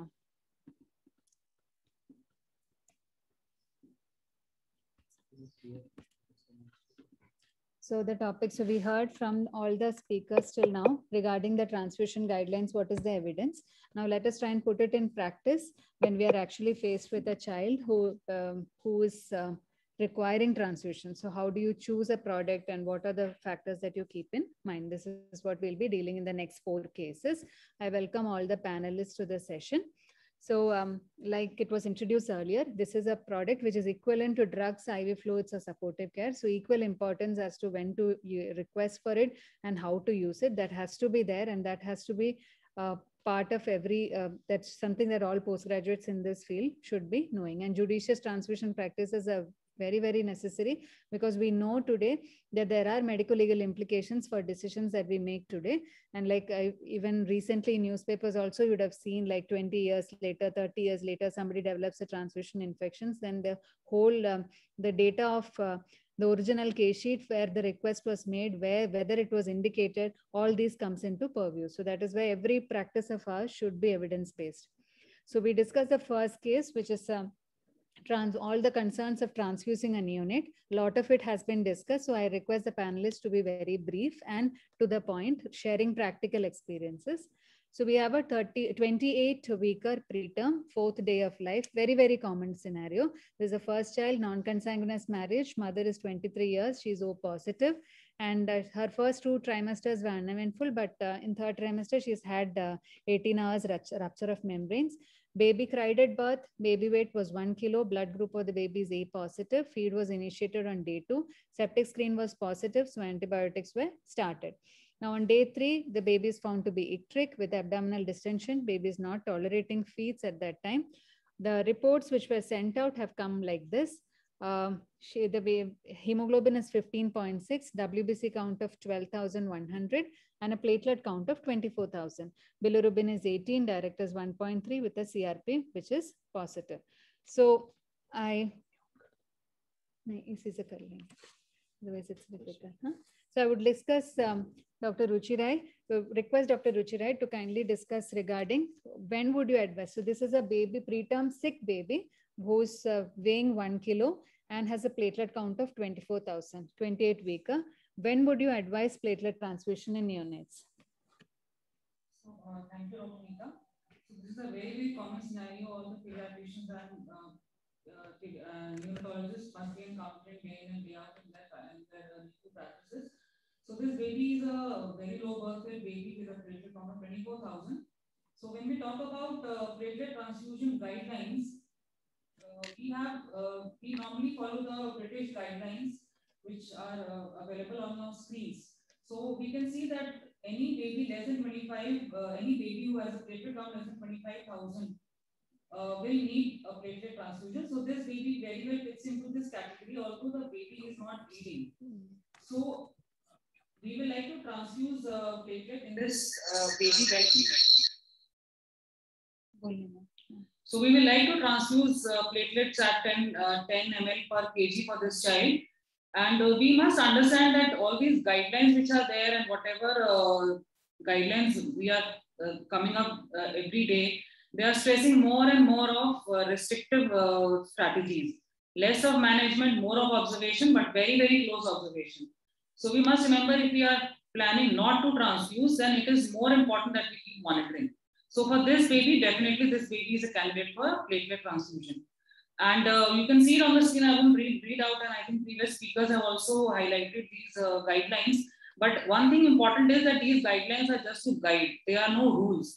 So you may have to uh, tweak these guidelines a little, like suppose you are about to refer a baby who a baby wants to go to another hospital or you want to refer a baby to another hospital, you may like to transfuse the baby even if the platelets are 30,000 and even if that child is not bleeding and the baby has to travel some distance. So it all depends on how your baby is, but yes, these are the rough guidelines. So 25,000 you have to maintain for all newborns and 30,000 we need to maintain for all newborns uh, in whom we are suspecting or we have proved that the baby has a, it's a case of neonatal alloimmune thrombocytopenia. So the next slide we have uh, about uh, management of uh, thrombocytopenia in a patient with neonatal alloimmune thrombocytopenia. Although in our setting it is we only uh, suspect, it is very difficult to prove. And previous uh, sibling history also most of the time, we hardly ever have history. We may just have a history of a neonatal death, but we never somehow are able to make it out that whether it was because of an IC bleed but yes, if a term baby who has an intracranial bleed, we are somehow able to document in this child or in the previous sibling, it is more or less that we take it as the baby must be having a neonatal alloimmune thrombocytopenia. So for a, a baby without neonatal alloimmune thrombocytopenia, maintain the levels above 25,000. And for baby with a neonatal, uh, uh, neonatal uh, alloimmune thrombocytopenia, we maintain a platelet count beyond 30,000. So this is an algorithm which tells us Again, ma uh, in management, when we are saying that we need to transfuse platelet which are HPA type, so that will not be possible in our setup. So we just have to transfuse a random donor platelet whether the baby has a neonatal alloimmune problem or it is just uh, any other simple thrombocytopenia.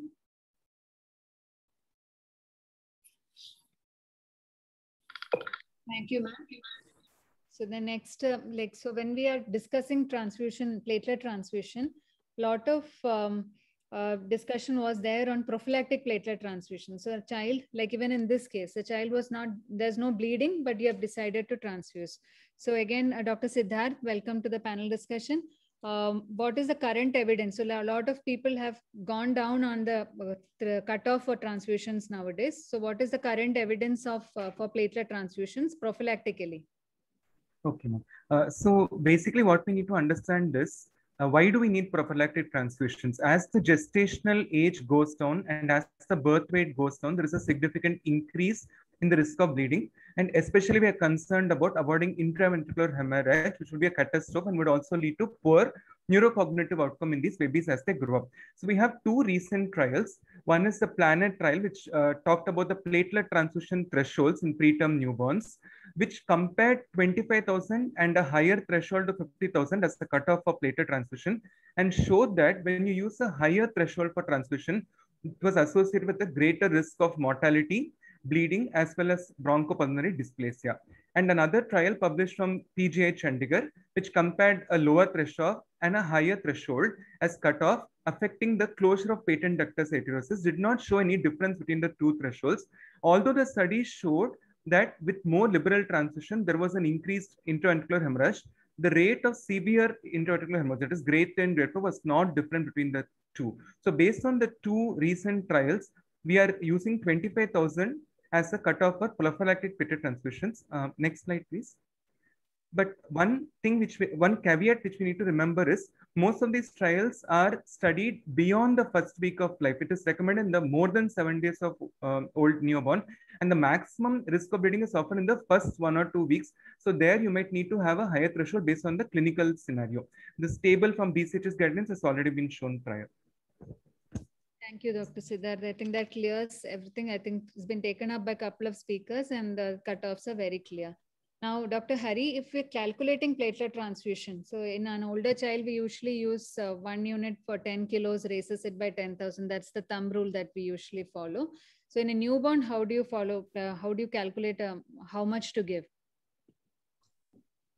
So um, as uh, the standard uh, guideline says that we should transfuse 5 to 10 ml uh, per kg. So the body weight of the baby is very important in this and uh, the blood volume. So depending on that, we have to give a part. We can have a pedi pack from the random donor platelet or we can have uh, we usually have a apheresis platelet and make it a, into pedi packs of three and four bags and uh, at one point of time uh, one day we give 5 to 10 ml for per ml per kg for uh, these children.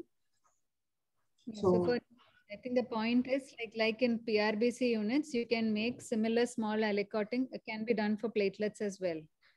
Yes. Thank you. So, um, Dr. Sangeeta, ma'am, like there has been, you did mention about cross matching uh, for neonates. Can you just briefly describe the principle? Like uh, whenever we are sending a, what would you, how would you try, like in this child, for example, this is a mother who is O positive and a baby is B. What is the principle behind doing both the samples together in the yeah. So uh, in this situation where the baby is, I think the baby is A and the mother is O.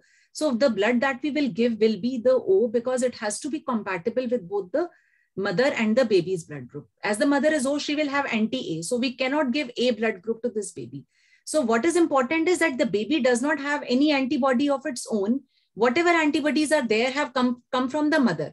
That is why we stress that the sample has, the blood has to be compatible with both the mother and the baby. So we will take, we will do the blood grouping, confirm the blood grouping in the baby, and we will do the cross matching with the maternal sample, and it has to be blood group O.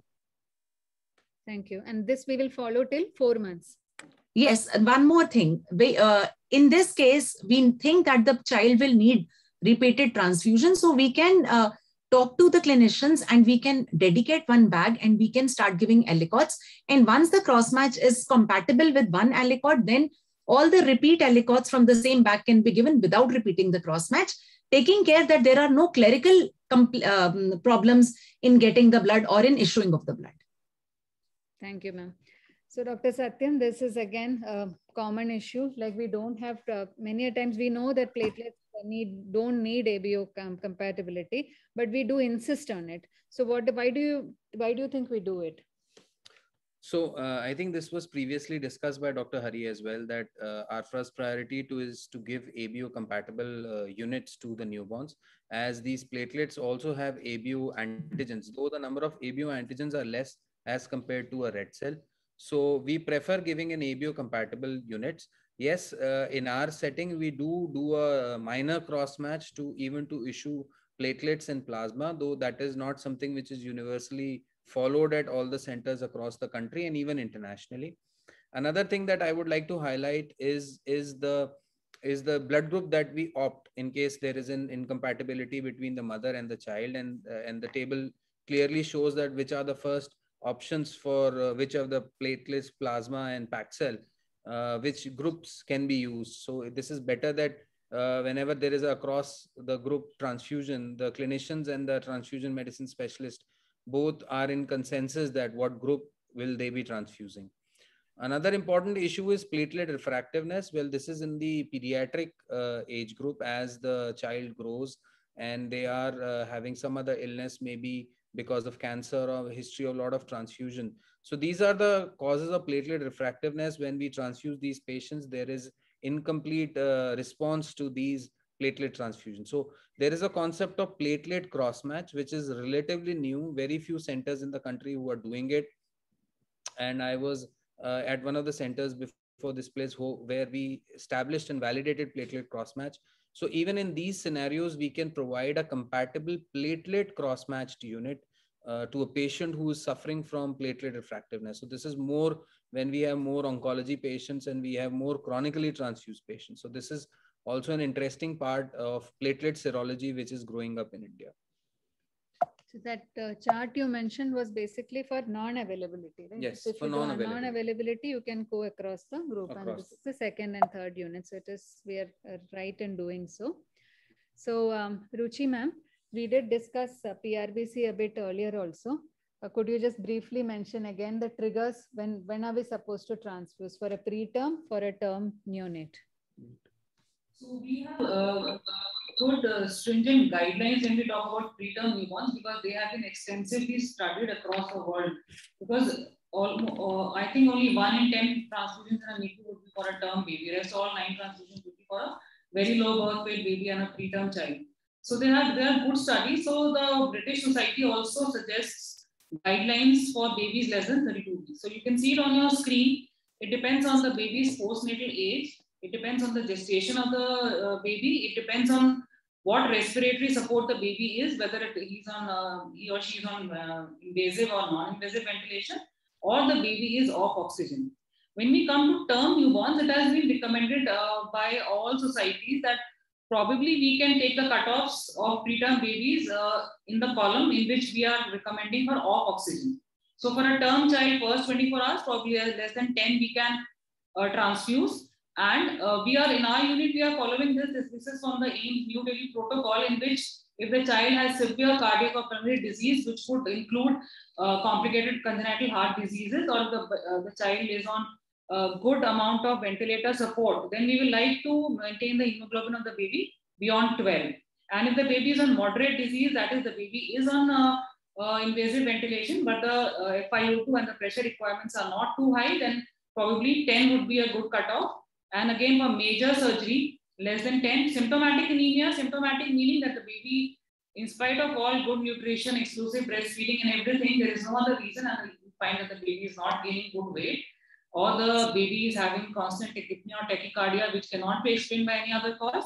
So that would go into the category of symptomatic anemia in a term child.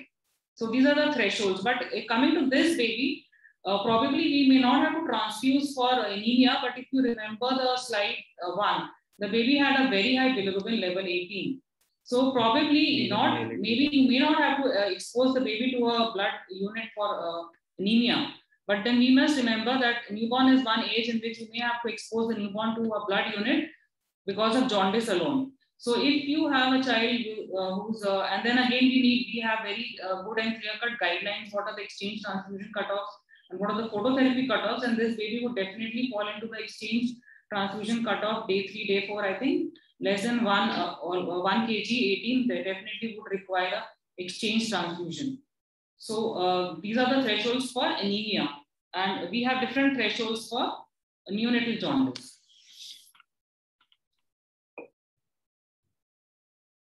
Thank you, ma'am.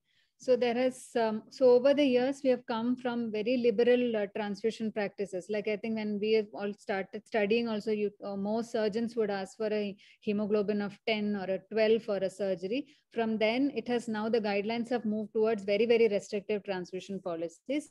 So uh, could you briefly discuss uh, that uh, restrictive, the how this has evolved, Dr. Siddharth? Yeah. So why do we have this debate? Uh, so when you give, why do you want to give blood transfusion to a baby? We believe that it will improve the oxygenation of end organs and maybe decrease the mortality and also enhance the neurodevelopment, prevent you know poor neurocognitive outcome. But the problem is that when you give blood transfusion, there are a whole lot of hazards which are associated with transfusion that we all know about. And also theoretically, the transfusion can lead to immune dysregulation and lead to some neonatal complications. And also the volume of the blood being given can lead to pressure variations in the blood vessels and lead to intraventricular hemorrhage. So that's why now a lot of studies have been done. And recently we have two excellent multicentric trials. One is the European trial studying the effects of transfusion thresholds on neurocognitive outcomes and the American transfusion of premature trials. Both compared high and low thresholds as per the week of life of the child, as well as the critical status or the respiratory support. And both showed that there was no difference in the neurodevelopmental outcome at uh, two years of age and also death.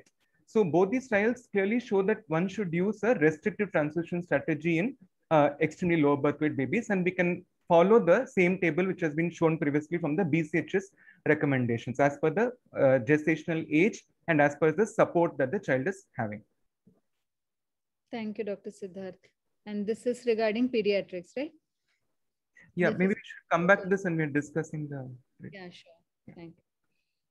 So Dr. Hari, a lot of children, um, like this was discussed um, by Dr. Sangeeta also, that you would kind of reserve a bag for uh, children who are neonates who are receiving transfusions.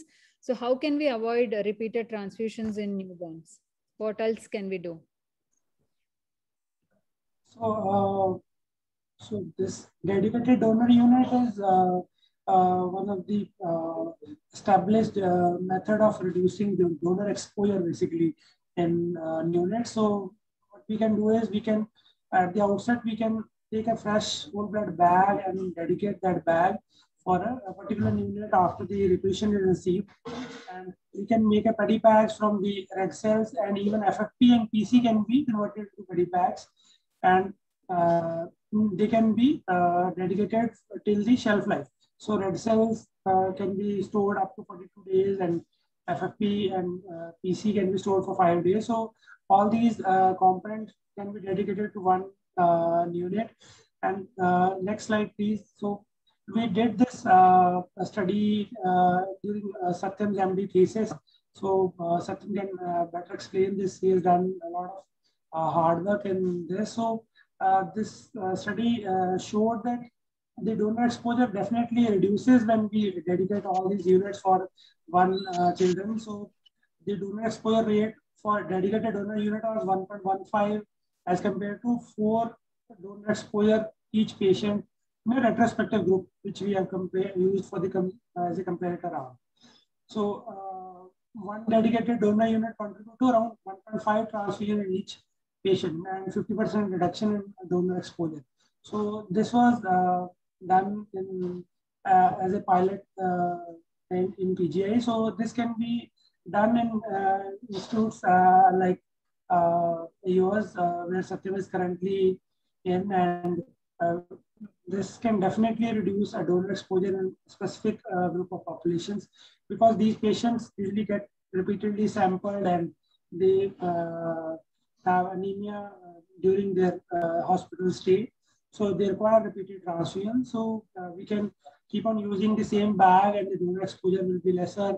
We need not to cross match again and again uh, for these patients because if the same bag is given, we need not to cross match again. And the second, which we can do uh, to reduce a donor exposure is sticking to the guidelines. So it is very important uh, for uh, clinicians to understand that uh, these units are tested for the infections. They are not uh, totally free from the infections like uh, the commercial drugs are, which are uh, pathogen reduced and uh, because these technologies are still not available in our country and and uh, evidence-based use can definitely reduce the donor exposure. Thank you, Dr. Hari. So, Sangeeta ma'am, you did mention a bit about leukodepletion. So in this baby, for example, would you prefer a leukodepleted product in uh, neonates? Dr. Sangeeta?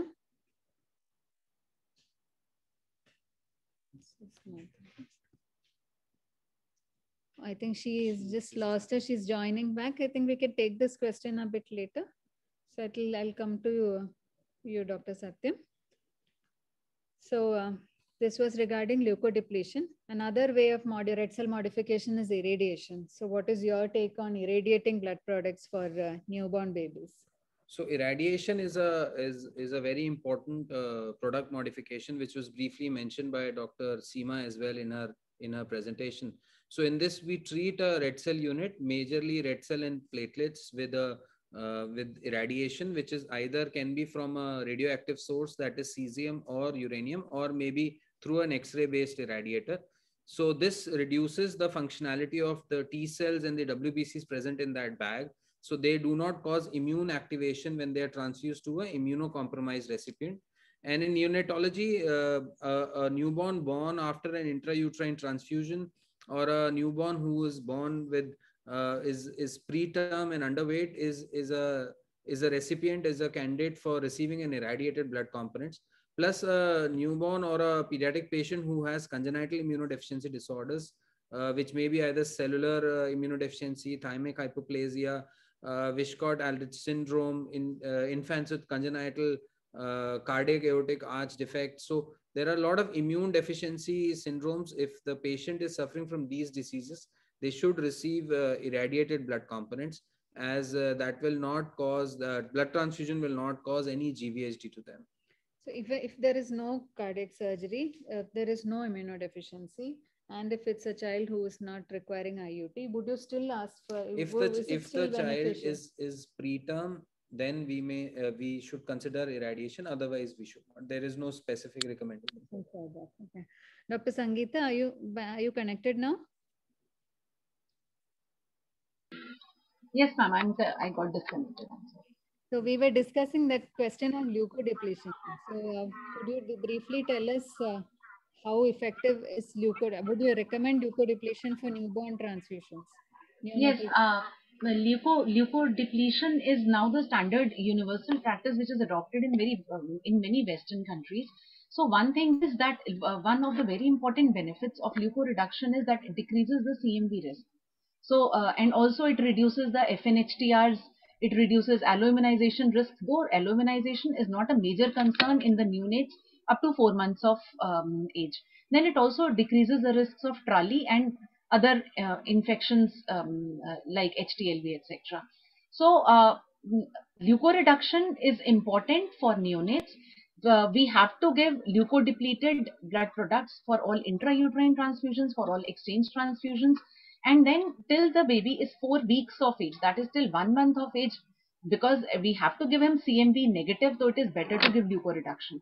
So in fact, in Britain, they are giving uh, CMV negative and leukoreduced blood uh, blood components till one year of age, which which is the universal guidelines which is following, which is being followed there. So I think leukoreduction should be done for adults also. We um, we say that we should ideally give leukoreduced um, uh, blood components. It saves your blood at the end of the day. Yeah. So it's like un ideally universal leukodepletion if possible. Thank you, ma'am.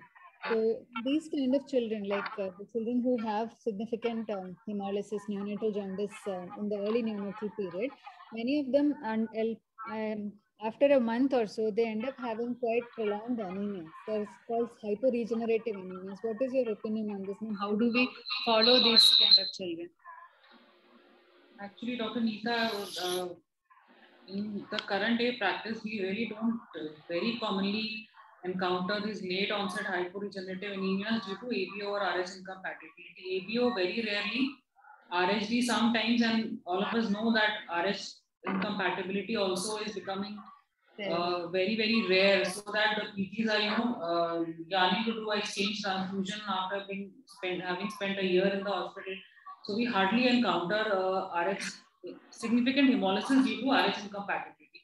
But yes, we do see rarely, we have, we have seen children coming at six weeks of age also who have had ABO or RH incompatibility and probably not even, even if they have not required an exchange for that, so there is some amount of hemolysis that is going on in their uh, in the system, may not have required an exchange, but uh, may have required just phototherapy. So do we, we do encounter, but what we encounter more commonly is uh, premature and VLBW babies, and most of them are with us only at one month of age also.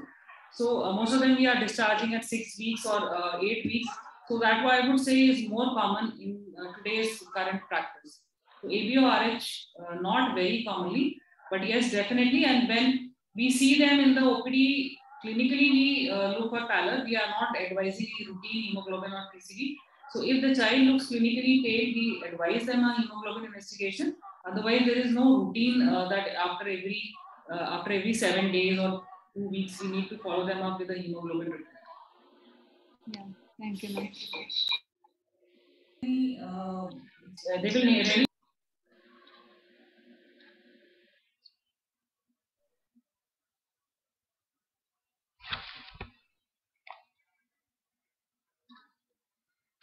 baby for ABO incompatibility in the newborn period, given him phototherapy, never uh, bilirubin never reached up to the exchange zone. So very rarely we need an exchange transfusion. Most of them we just recover supported. Thank you, ma'am. So that is again, so after this newborn period, maybe like one to three months, six months, we do encounter a lot of these uh, troubled newborn, newborn babies who end up with uh, severe anemia. So Dr. Siddharth, your, when do you advise, um, how do you follow up these babies? Do you ask for polycyte count, for weight? How do you follow these children? Yeah. Uh, so basically, to answer this question, we have we can see from two perspectives. If you see from a neonatology per perspective, so most of these low birth weight babies, they will have a, a preponed physiological anemia, the anemia of prematurity, which tends to occur by around three to six weeks of age. So the first dictum is given that we are following a restrictive approach to transfusion, we need not be proactively sampling the child just to detect the anemia, and we should be sampling the child only if there are clinical evidence, you know, like the child is having recurrent apneas, there is unexplained vital instability, or there is poor weight gain despite uh, feeding, or there is a poor feeding or lethargy. So like this clinical pointer should guide uh, testing the baby to avoid unnecessarily phlebotomy losses. And once you detect the baby to have anemia, we have the BCHS guidelines, which has already been shown in the new neonatal age group. Now, beyond uh, one month of age, uh, when from a hemato-oncological perspective, as a specialist, we we have to try to differentiate it as a hypoproliferative um, anemia or a hemolytic anemia. So from the clinical uh, examination, uh, children with dysmorphism should be tuned to picking up hyperproliferative, whereas if there is icterus organomegaly, should suspect hemolysis. A complete CBC with indices, retic count, and peripheral smear would be to, the starting thing to get a diagnosis. And then transfusion will be based upon the clinical scenario. What is the diagnosis in that particular baby? Yeah. Thank you, Dr. Siddharth. So now we come to the second case, which would move on to a slightly older child now. This is a six-year-old child. I'll briefly describe the case. It's a child with a short duration fever, vomiting, pain, abdomen, febrile flushed child. Um, BP is 100 by 50. Systems seem okay. She was started on maintenance fluid. Your reports uh, show that it's dengue IgM positive. Child is now admitted since a week. Now, last two days, there's been no fever, but BP records are not good child is irritable, abdomen is distended, and the child is bleeding. So again, a common scenario that we see during the dengue season, children coming with mucosal bleeding, bruises at venipuncture sites, hypotensive children. So um, these are the investigations in this baby. I think this child would have been transfused. Hemoglobin is 12. Total count is 3,500. Platelet is 15,000 now. And there is some evidence of multi-organ dysfunction, raised SGOT, SGPT. Urea is also high. So Dr. Siddharth will start from you. A sick baby in a PICU, when do you advise transfusions? Quickly on PRBC as well as platelets. Yeah. So uh, Dr. Sangeeta has already talked about the TRIPICU study. So which compared a lower cutoff of 7 and a higher cutoff of 9.10 showed there was no significant difference in the outcomes. And there is also the recent TAXI initiative, which actually recommends transfusions in pediatric critical care. Um, so this says clearly says that if somebody has a hemoglobin less than five, then you have to transfuse. If somebody has HB seven or more, you can definitely wait. Now, those who have between five to seven, then you use your clinical judgment depending upon what support the child is on and what is the stability. Um, we usually go for packed red cells always, unless there is a hemorrhagic shock like what you would see in dengue, where you might use whole blood or a combination of RBC uh, platelet and plasma. The only situations where you would want to use a higher cutoff, that is more than seven, would be in a child who also has a acute brain injury or a congenital heart disease or a hemolytic anemia like a sickle cell anemia or a thalassemia. Now, uh, coming to platelet count, uh, of course, it's very difficult to define the platelet count, but uh, we can go in this scenario. This is dengue. So definitely in dengue, what we know is we should not go for prophylactic transfusions. The child is not bleeding if the count is less than 20,000. But if it is less than 10,000, then you might consider platelet transfusions even if the child is not bleeding. And um, in dengue, basically, we consider blood transfusion if the hematocrit starts falling when you're resuscitating, resuscitating shock or there is a loss of more than 10% of the blood volume, in which case you can give whole blood or packed red cells. And like I already told about platelets, you can conserve less than 10,000 if no bleeding, if there is an ongoing systemic massive bleed or a prolonged shock with abnormal coagulogram. And the indication of FFP in dengue, you have to individualize. You might use it if the child is having significant bleeding with a coagulopathy. So again, the guidelines are similar to that we discussed earlier. And uh, it's just that you have to individualize based on the hemodynamic stability of the patient. So um, Dr. Hari, we, many a times in pediatric ICU, we do see babies who are been giving, we have been giving transfusions, but the platelets simply don't rise. Could you briefly describe what are the reasons for this uh, so-called?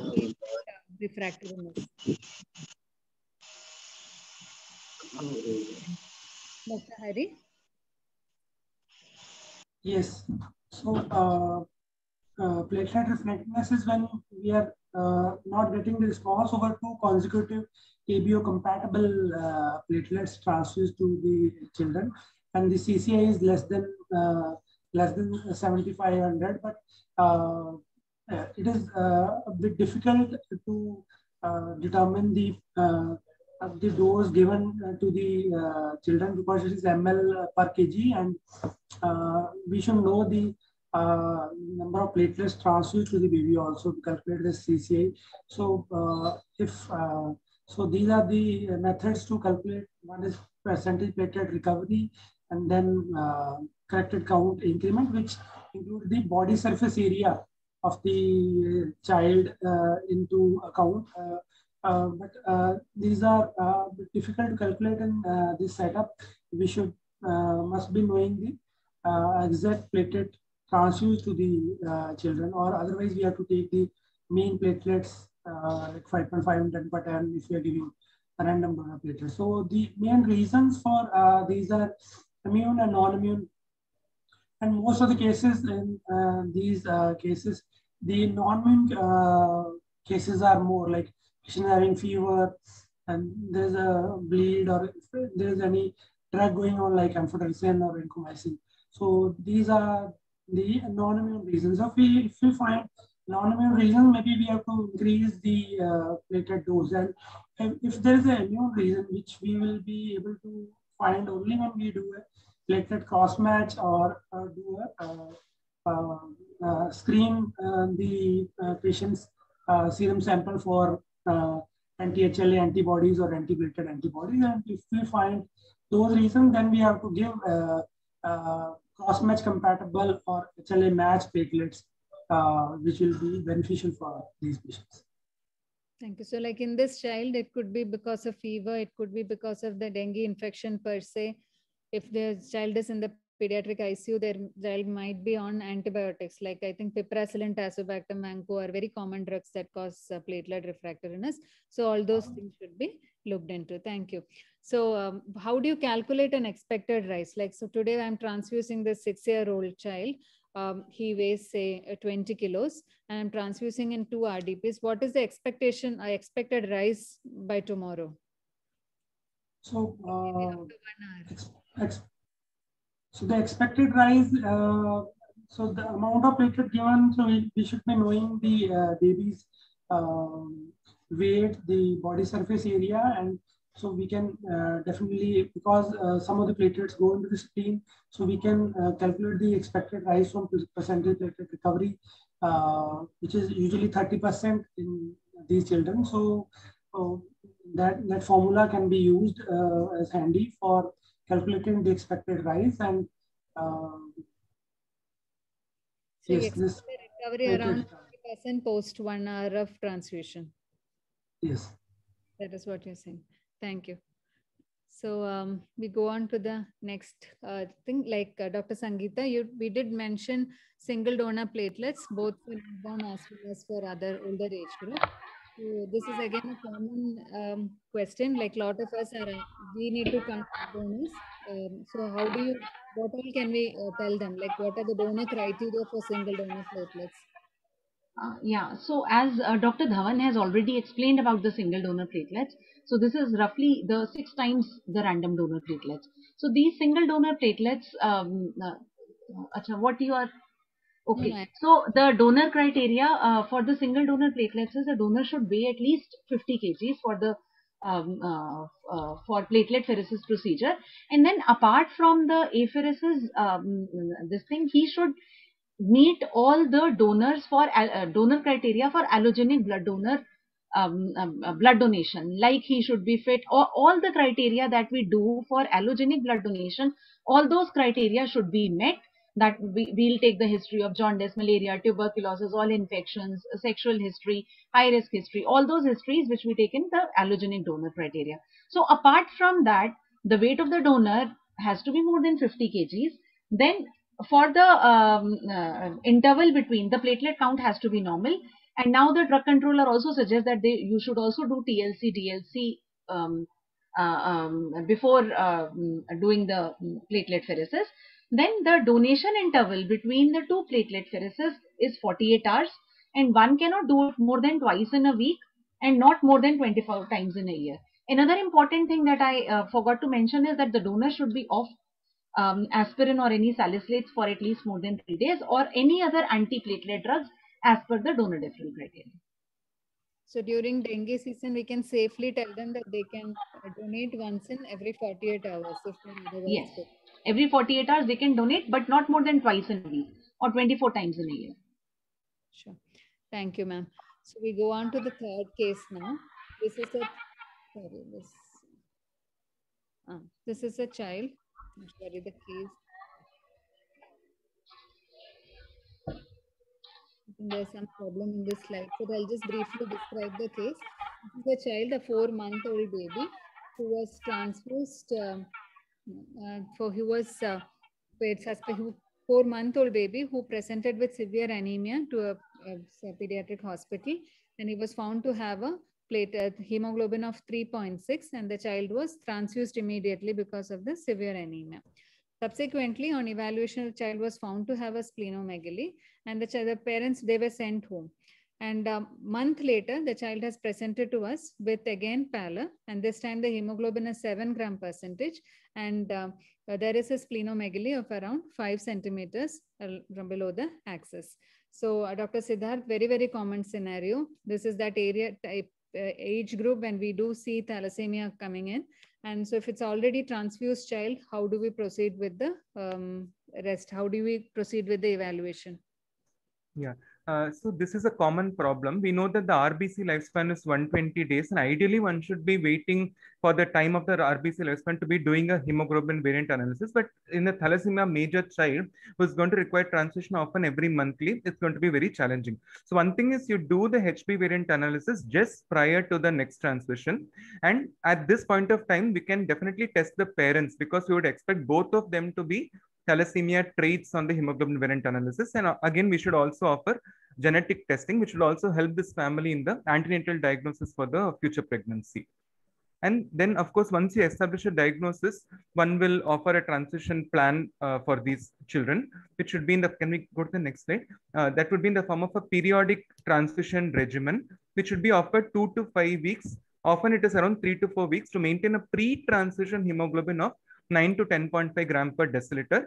And uh, I'm sure my other colleagues will describe this. There will be extended red cell antigen typing done before the first transfusion. Prior to every transfusion, we should do antibody screening to avoid alloimmunization in them. And it is very important to stress maintaining of a thalassemia diary where you actually note the date of the transfusion, how much volume was transfused, so that at the end of each year, you can actually see how much is the transfusion requirement.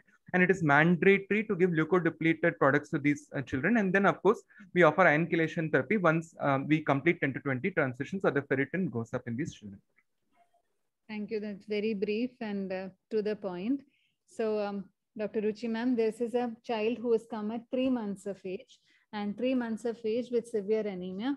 What are the other differences that you would consider at that?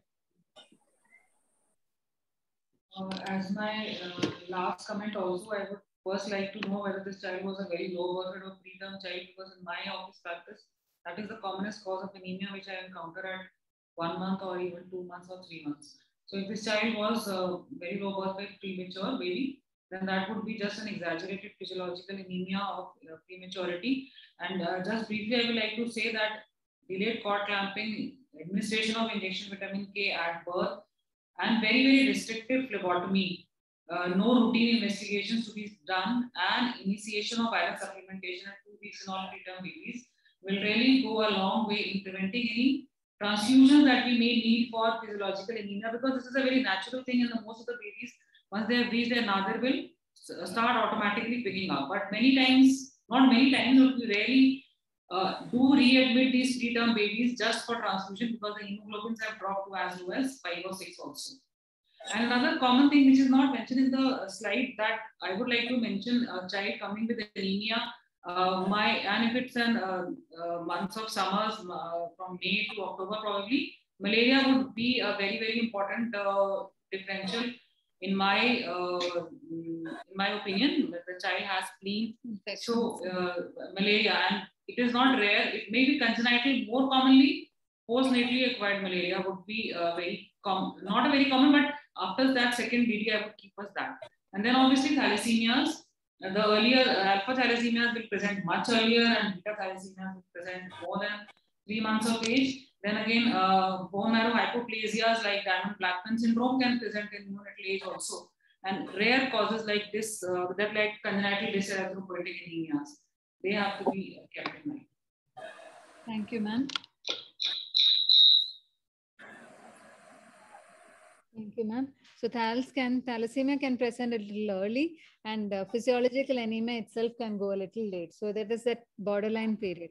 So, uh, Dr. Satyam, how do we initiate? A bit of it has been discussed, but briefly, how do you initiate transfusion in thalassemia? So this was this is continuing from Dr. Siddharth that we need to confirm that the case is, is of thalassemia, and then uh, we need to establish it the uh, hemoglobin testing as well that it is less than seven on two different occasions and at minimum more than two weeks apart and uh, then the critical cutoff for transfusion in these suspected patients are seven. So if hemoglobin drops below seven, we will definitely transfuse. And even if it is above seven and there are features of facial changes, poor growth, some associated fractures or some extramedullary hematopoiesis, even then we will consider a transfusion. And yes, before we go for a first transfusion, we would request to have a complete uh, RH and KEL phenotyping as well as an as far as possible extended uh, rare blood group uh, phenotyping as well. So we know that what is the baseline uh, rare blood group phenotype of these patients. As once we start transfusion policies, the, the doing a phenotype will not be possible. Even an antibody screen, there is uh, no single guideline that it, at what interval should they be done. It's basically institutionalized. So they can at a three months, six months, or even an annual basis to these patients. Our goal will be to keep a hemoglobin of more than 9.4 and we'll assess to, you know, retransfuse in between three to four weeks. And uh, based on pre-transfusion hemoglobin, our volume is usually decided. So if it is seven, we do 20 ml per kg. If it is uh, around nine, less than 9.5, uh, so it's around 15 to 20. Between 9.5 and 10.5 is around 15. And if it is more than 10.5, we do around uh, we consider, uh, consider reducing the transfusion volume to a total 15% of the patient's body weight. Thank you, Dr. Satyam. So initially, first two transfusions seven, and then after that, uh, keep the hemoglobin above 9.5. Dr. Sangeeta ma'am, again, thalassemia patients, what are the PRBC modifications that are commonly done? Okay, so um, for the packed red cells in thalassemia patients, this has already been discussed by Dr. Siddharth and Dr. Satyam. So every time we, uh, one thing is never use whole blood, use red cells, packed red cells which are leukoreduced. Now leukoreduction, particularly in thalassemia, uh, uh, has a big role in reducing alloimmunization. So uh, leukoreduced packed red cells are to be used for thalassemics. Second thing is whenever we are starting them on the transfusion regime, it is a very good practice to have their phenotype with us, either the phenotype or by the molecular test, serological or molecular tests, we should know what is their phenotype. So second thing is every time uh, uh, we issue them the blood or on periodic basis, antibody screen and identification should be done and they should be given antibody negative, corresponding antigen negative blood. Another important concept which is not universally done is phenotypically matched blood. That is whatever is the RHKL profile of the thalassemic child, we give the same profile matched blood to the child. This reduces the incidence of alloimmunization. This also reduces the incidence of autoimmunization. So, so much so that the alloimmunization rate reduces from 15% to 3% after the use of phenotypically matched bloods. So I think that is what we need to do for the, and obviously we need to have a routine and they need to be transfused as um, um, uh, on their periodic basis as Dr. Satyam just. Thank you, ma'am. So leukodepletion, Dr. Hari, we could either leukodeplete um, at the blood bank or when we do it at, at the transfusion daycare. So how do you decide which one is better according to you? So when uh, standard of care is uh, pre-storage leukoreduction only uh, with the inline filter. So the bags already have the filter inside. So after completion of complete preparation, we just hang the bag upside down and have a leuko-filtered bag. So what it does is that it removes the WBCs as a whole. So the, before they, they can uh, release the cytokines or they can be WBC fragments. So this is the standard of care worldwide. It is used, but in our country we don't have the whole inventory as liquid leukoreduce. So maybe some uh, blood groups we will not have a liquid leukoreduced bag. So in that case, we can use uh, this uh, uh lab side or bedside leukoreduction also. This is equally effective. Uh, they say uh, for prevention of HLA alloimmunization. So if we are doing lab side leukofiltration also within within uh, 72 hours. But uh, definitely pre-store leukoreduction is the ideal if it is available. And if, if lab side is not available, then bedside leukofiltration is uh, being done almost everywhere for these thalassemia patients. So, uh, so this will reduce the uh, cost also because the bags with inline leukofilters have a uh, lower cost.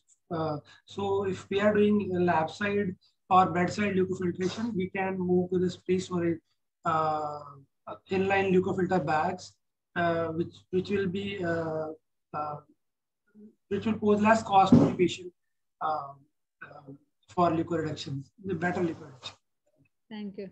So it's the same filter, but it's less costlier if you do it in the blood bank and um, it's more effective. So when we're selecting a filter, what are the criteria that we should look for, Dr. Satya? So uh, as Dr. Hari has said that we would prefer a, a, a, a pre-storage filtration that can be either uh, our bag has a filter or we use a lab filter to you know customize our inventory that we know how many units that we want to filter and do a leukoreduction and uh, this was one of the studies which we did uh, and published few years back in which we calculated the amount of leukoreduction through flow cytometry. And uh, we compared two companies uh, uh, degree of leukoreduction and we found that it was almost 99.9% leukoreduction which was achieved by both the companies. And at that time these were the two main companies which were providing uh, the leukoreduction bags. So there is no specific uh, criteria that we look into it. Yes, we want third generation or fourth generation uh, bed, bedside or uh, lab side leukofilters, or even the filters which is attached with the blood bag. So it depends on how do we want to make our inventory. Okay, thank you. So um, if you are selecting a, a, filter, for example, how do you know if the filter is working or not? Like, do you in the blood bank, do you check the WBC after filtration, Dr. Hari?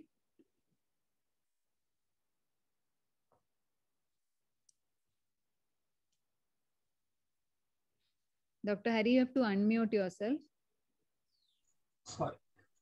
Uh, so as a, part of routine quality control also uh, we must be uh, checking uh, the efficiency of these uh, leukoreduction filters and at the time of maybe purchasing these bags we, should definitely do that are these leukofilters working appropriately are they giving us 99.9% or 3 log leukoreduction so the method because the WBC content of these bags is very low. It's thousand times lower than the normal.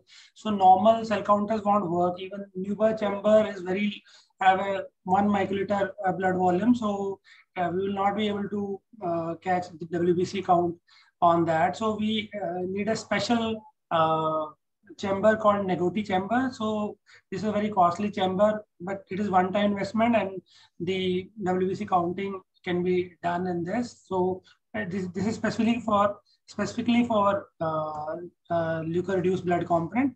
And even better method is flow cytometry, which uh, uh, explained in previous slide. They did so. Uh, flow cytometry is superior to Nageotte chamber, but if flow cytometry is not available, we can use Nageotte chamber and calculate the residual WBCs and uh, check the quality of these these uh, filters. So running a CBC will not help. We should get our blood bank uh, colleagues help and get a quality control done, even if we are doing a bedside filtration. So Dr. Um, so when we use blood bedside filter in the ward, what are the common uh, problems that you encounter and what can, can you quickly uh, tell us how to avoid the problems of a bedside filter? Yeah, uh, I think one major problem we face is the cost. It's not always available, uh, covered free of cost in all parts of the country. So you can see it costs around almost 600 to 1500 and some might not be afforded. So it's still cheaper that we, the institute tries to do a pre, uh, you know, pre-bedside filtration at the blood bank level itself.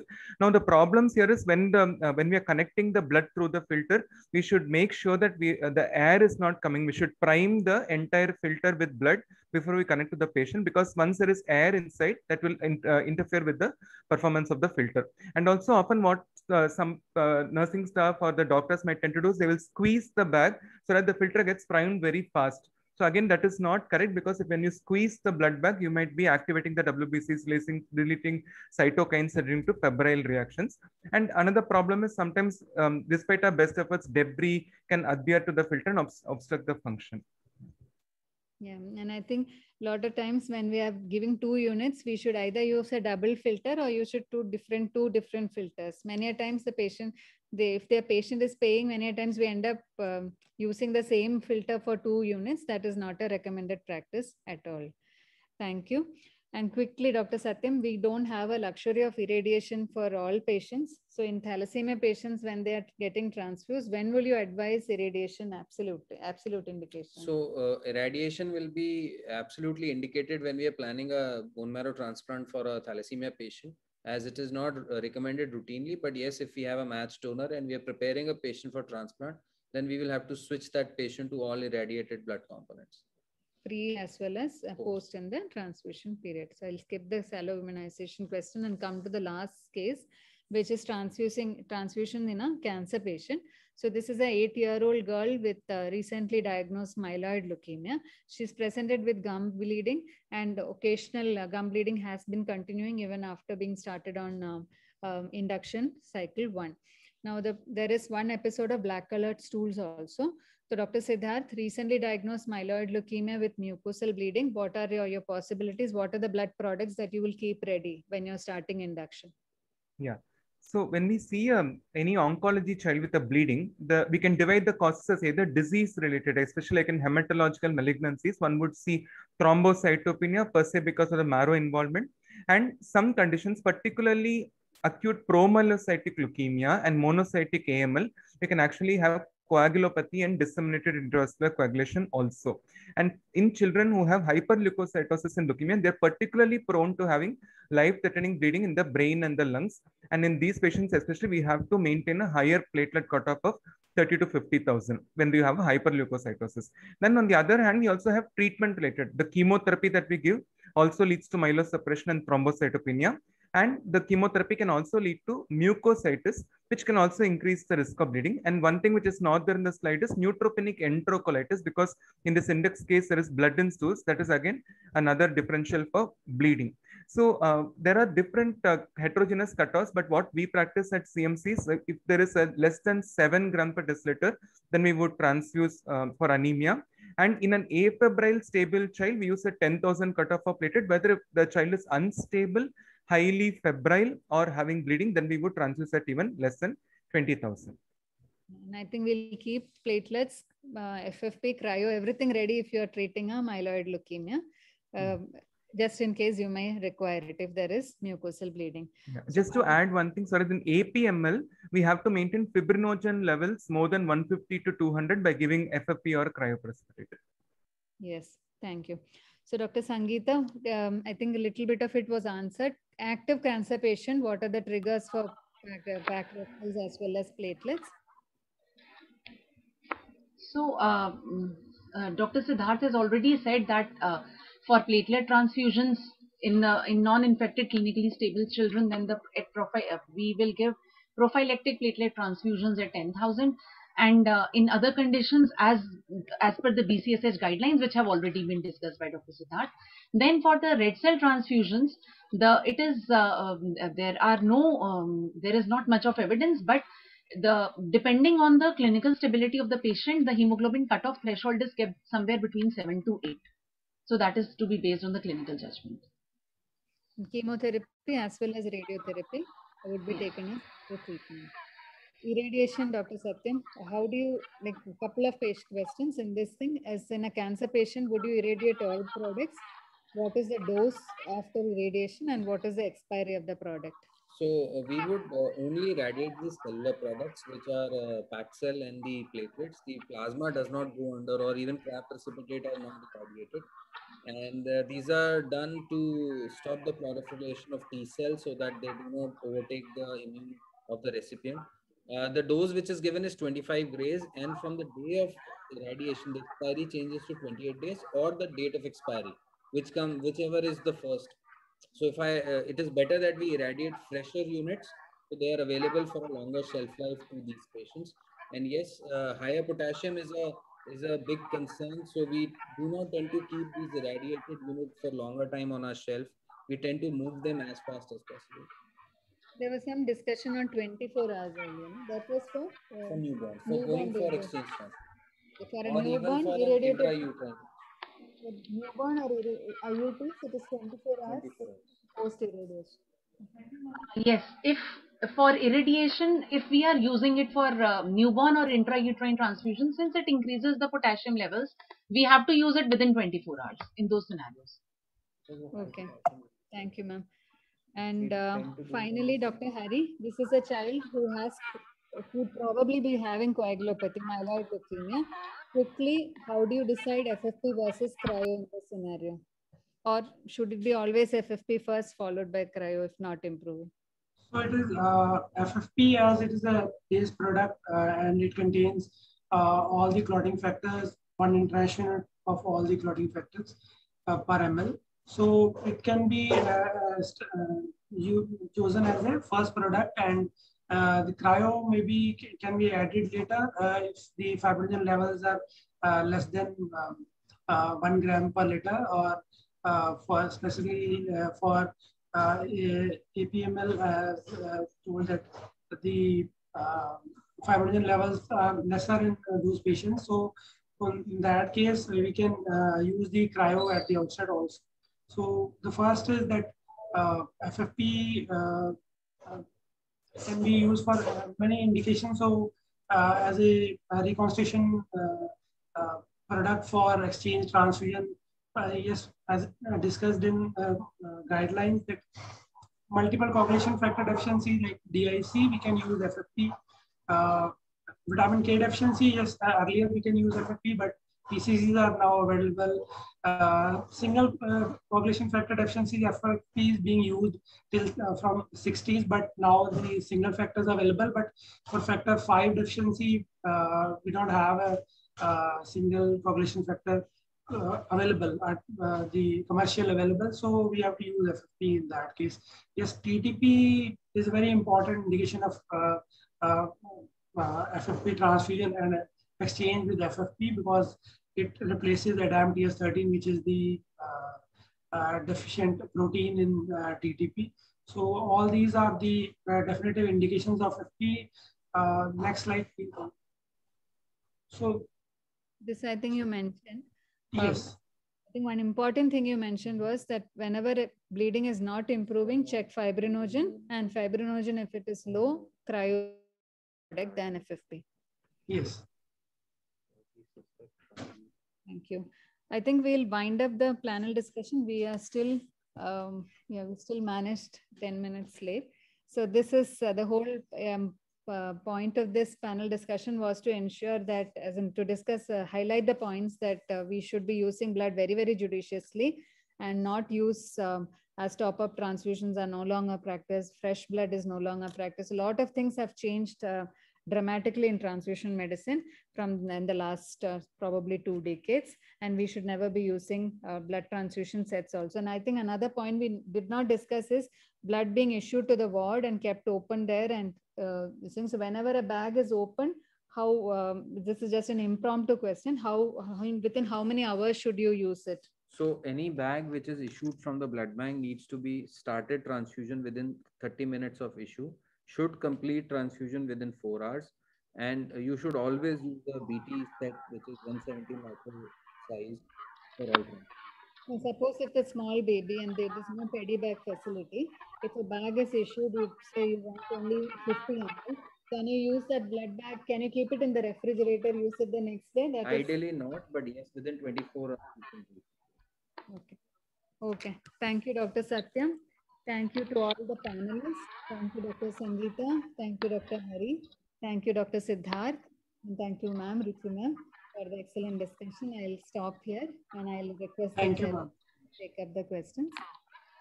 Mute.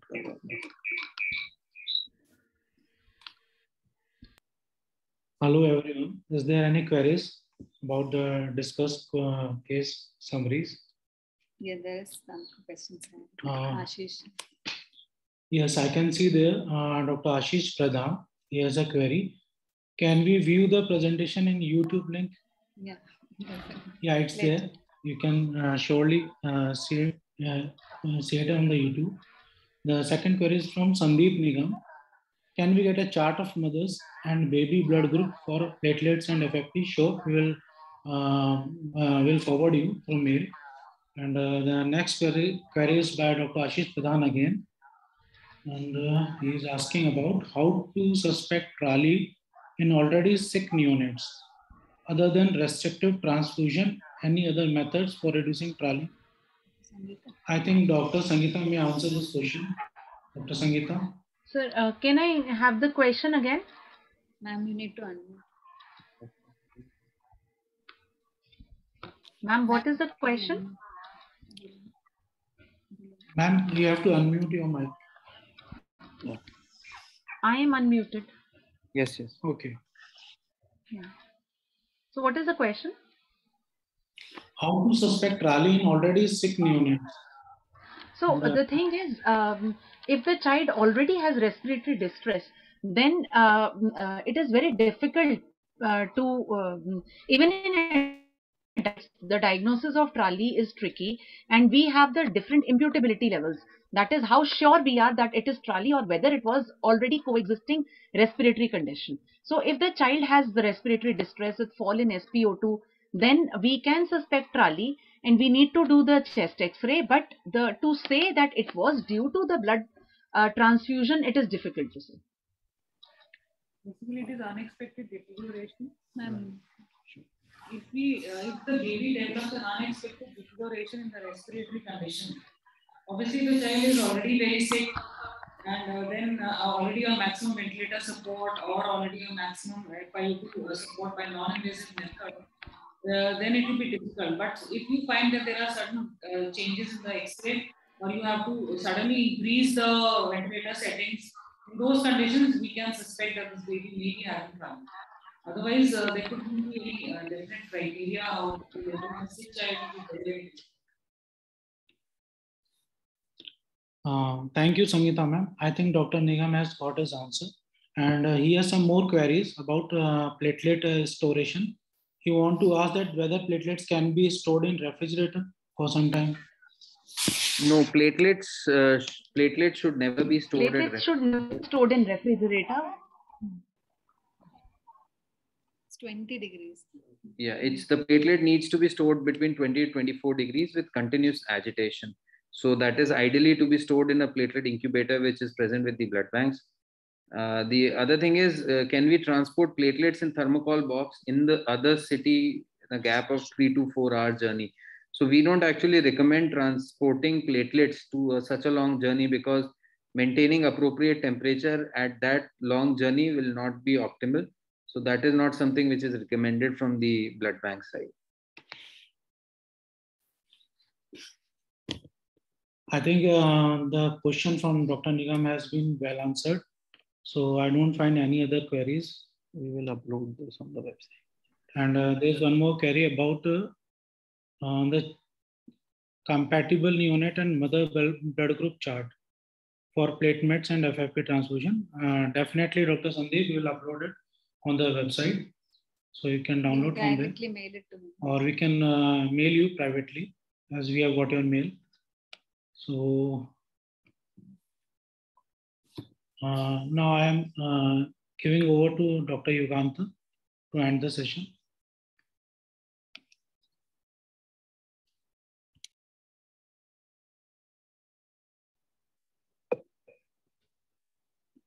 Sir, please. um, Sir, kindly unmute yourself.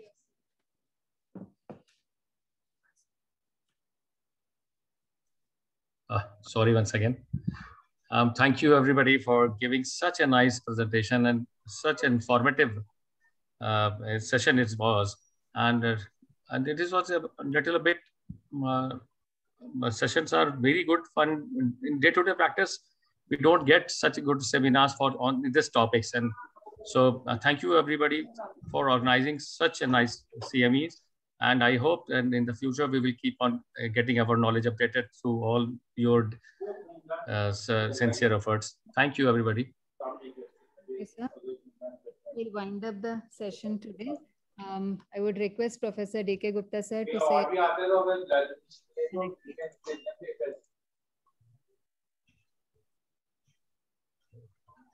By the time sir connect, um, unmutes, I would like to thank all the esteemed um, speakers, the panelists and the chairpersons who joined us today.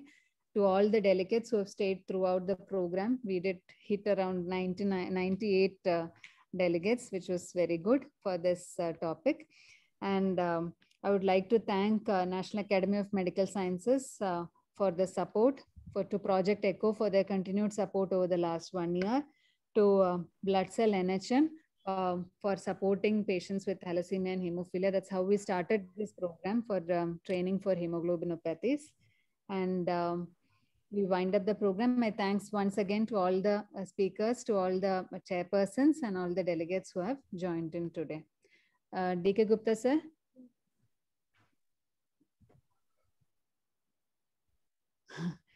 Thank you, sir. Yeah. Thank you so much, uh, Nita. I have been just in and out, but uh, more so listening rather than uh, on the video. Thank you, sir. Appreciate and see you tomorrow. So tomorrow, I believe you are holding uh, the symposium from National Academy's auditorium. Yes. Okay, it's all yours. Thank you very much. Thank you. All the participants. Thank you, everybody. Thank you, Dr. Thank you, Niranjan, sir, Yoganta, and our team from Noida Children Hospital, say my hello to everybody. They have done wonderful job, especially the blood bank people and your staff from the hemato-oncology. Uh, Co-organizer. Great job, well done. Madhu and Dr. Satya Marora. I forgot to mention my mistake. Thank you very much. And uh, we... Thank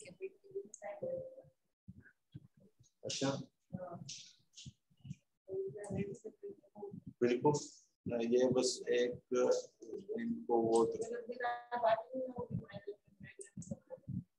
आया।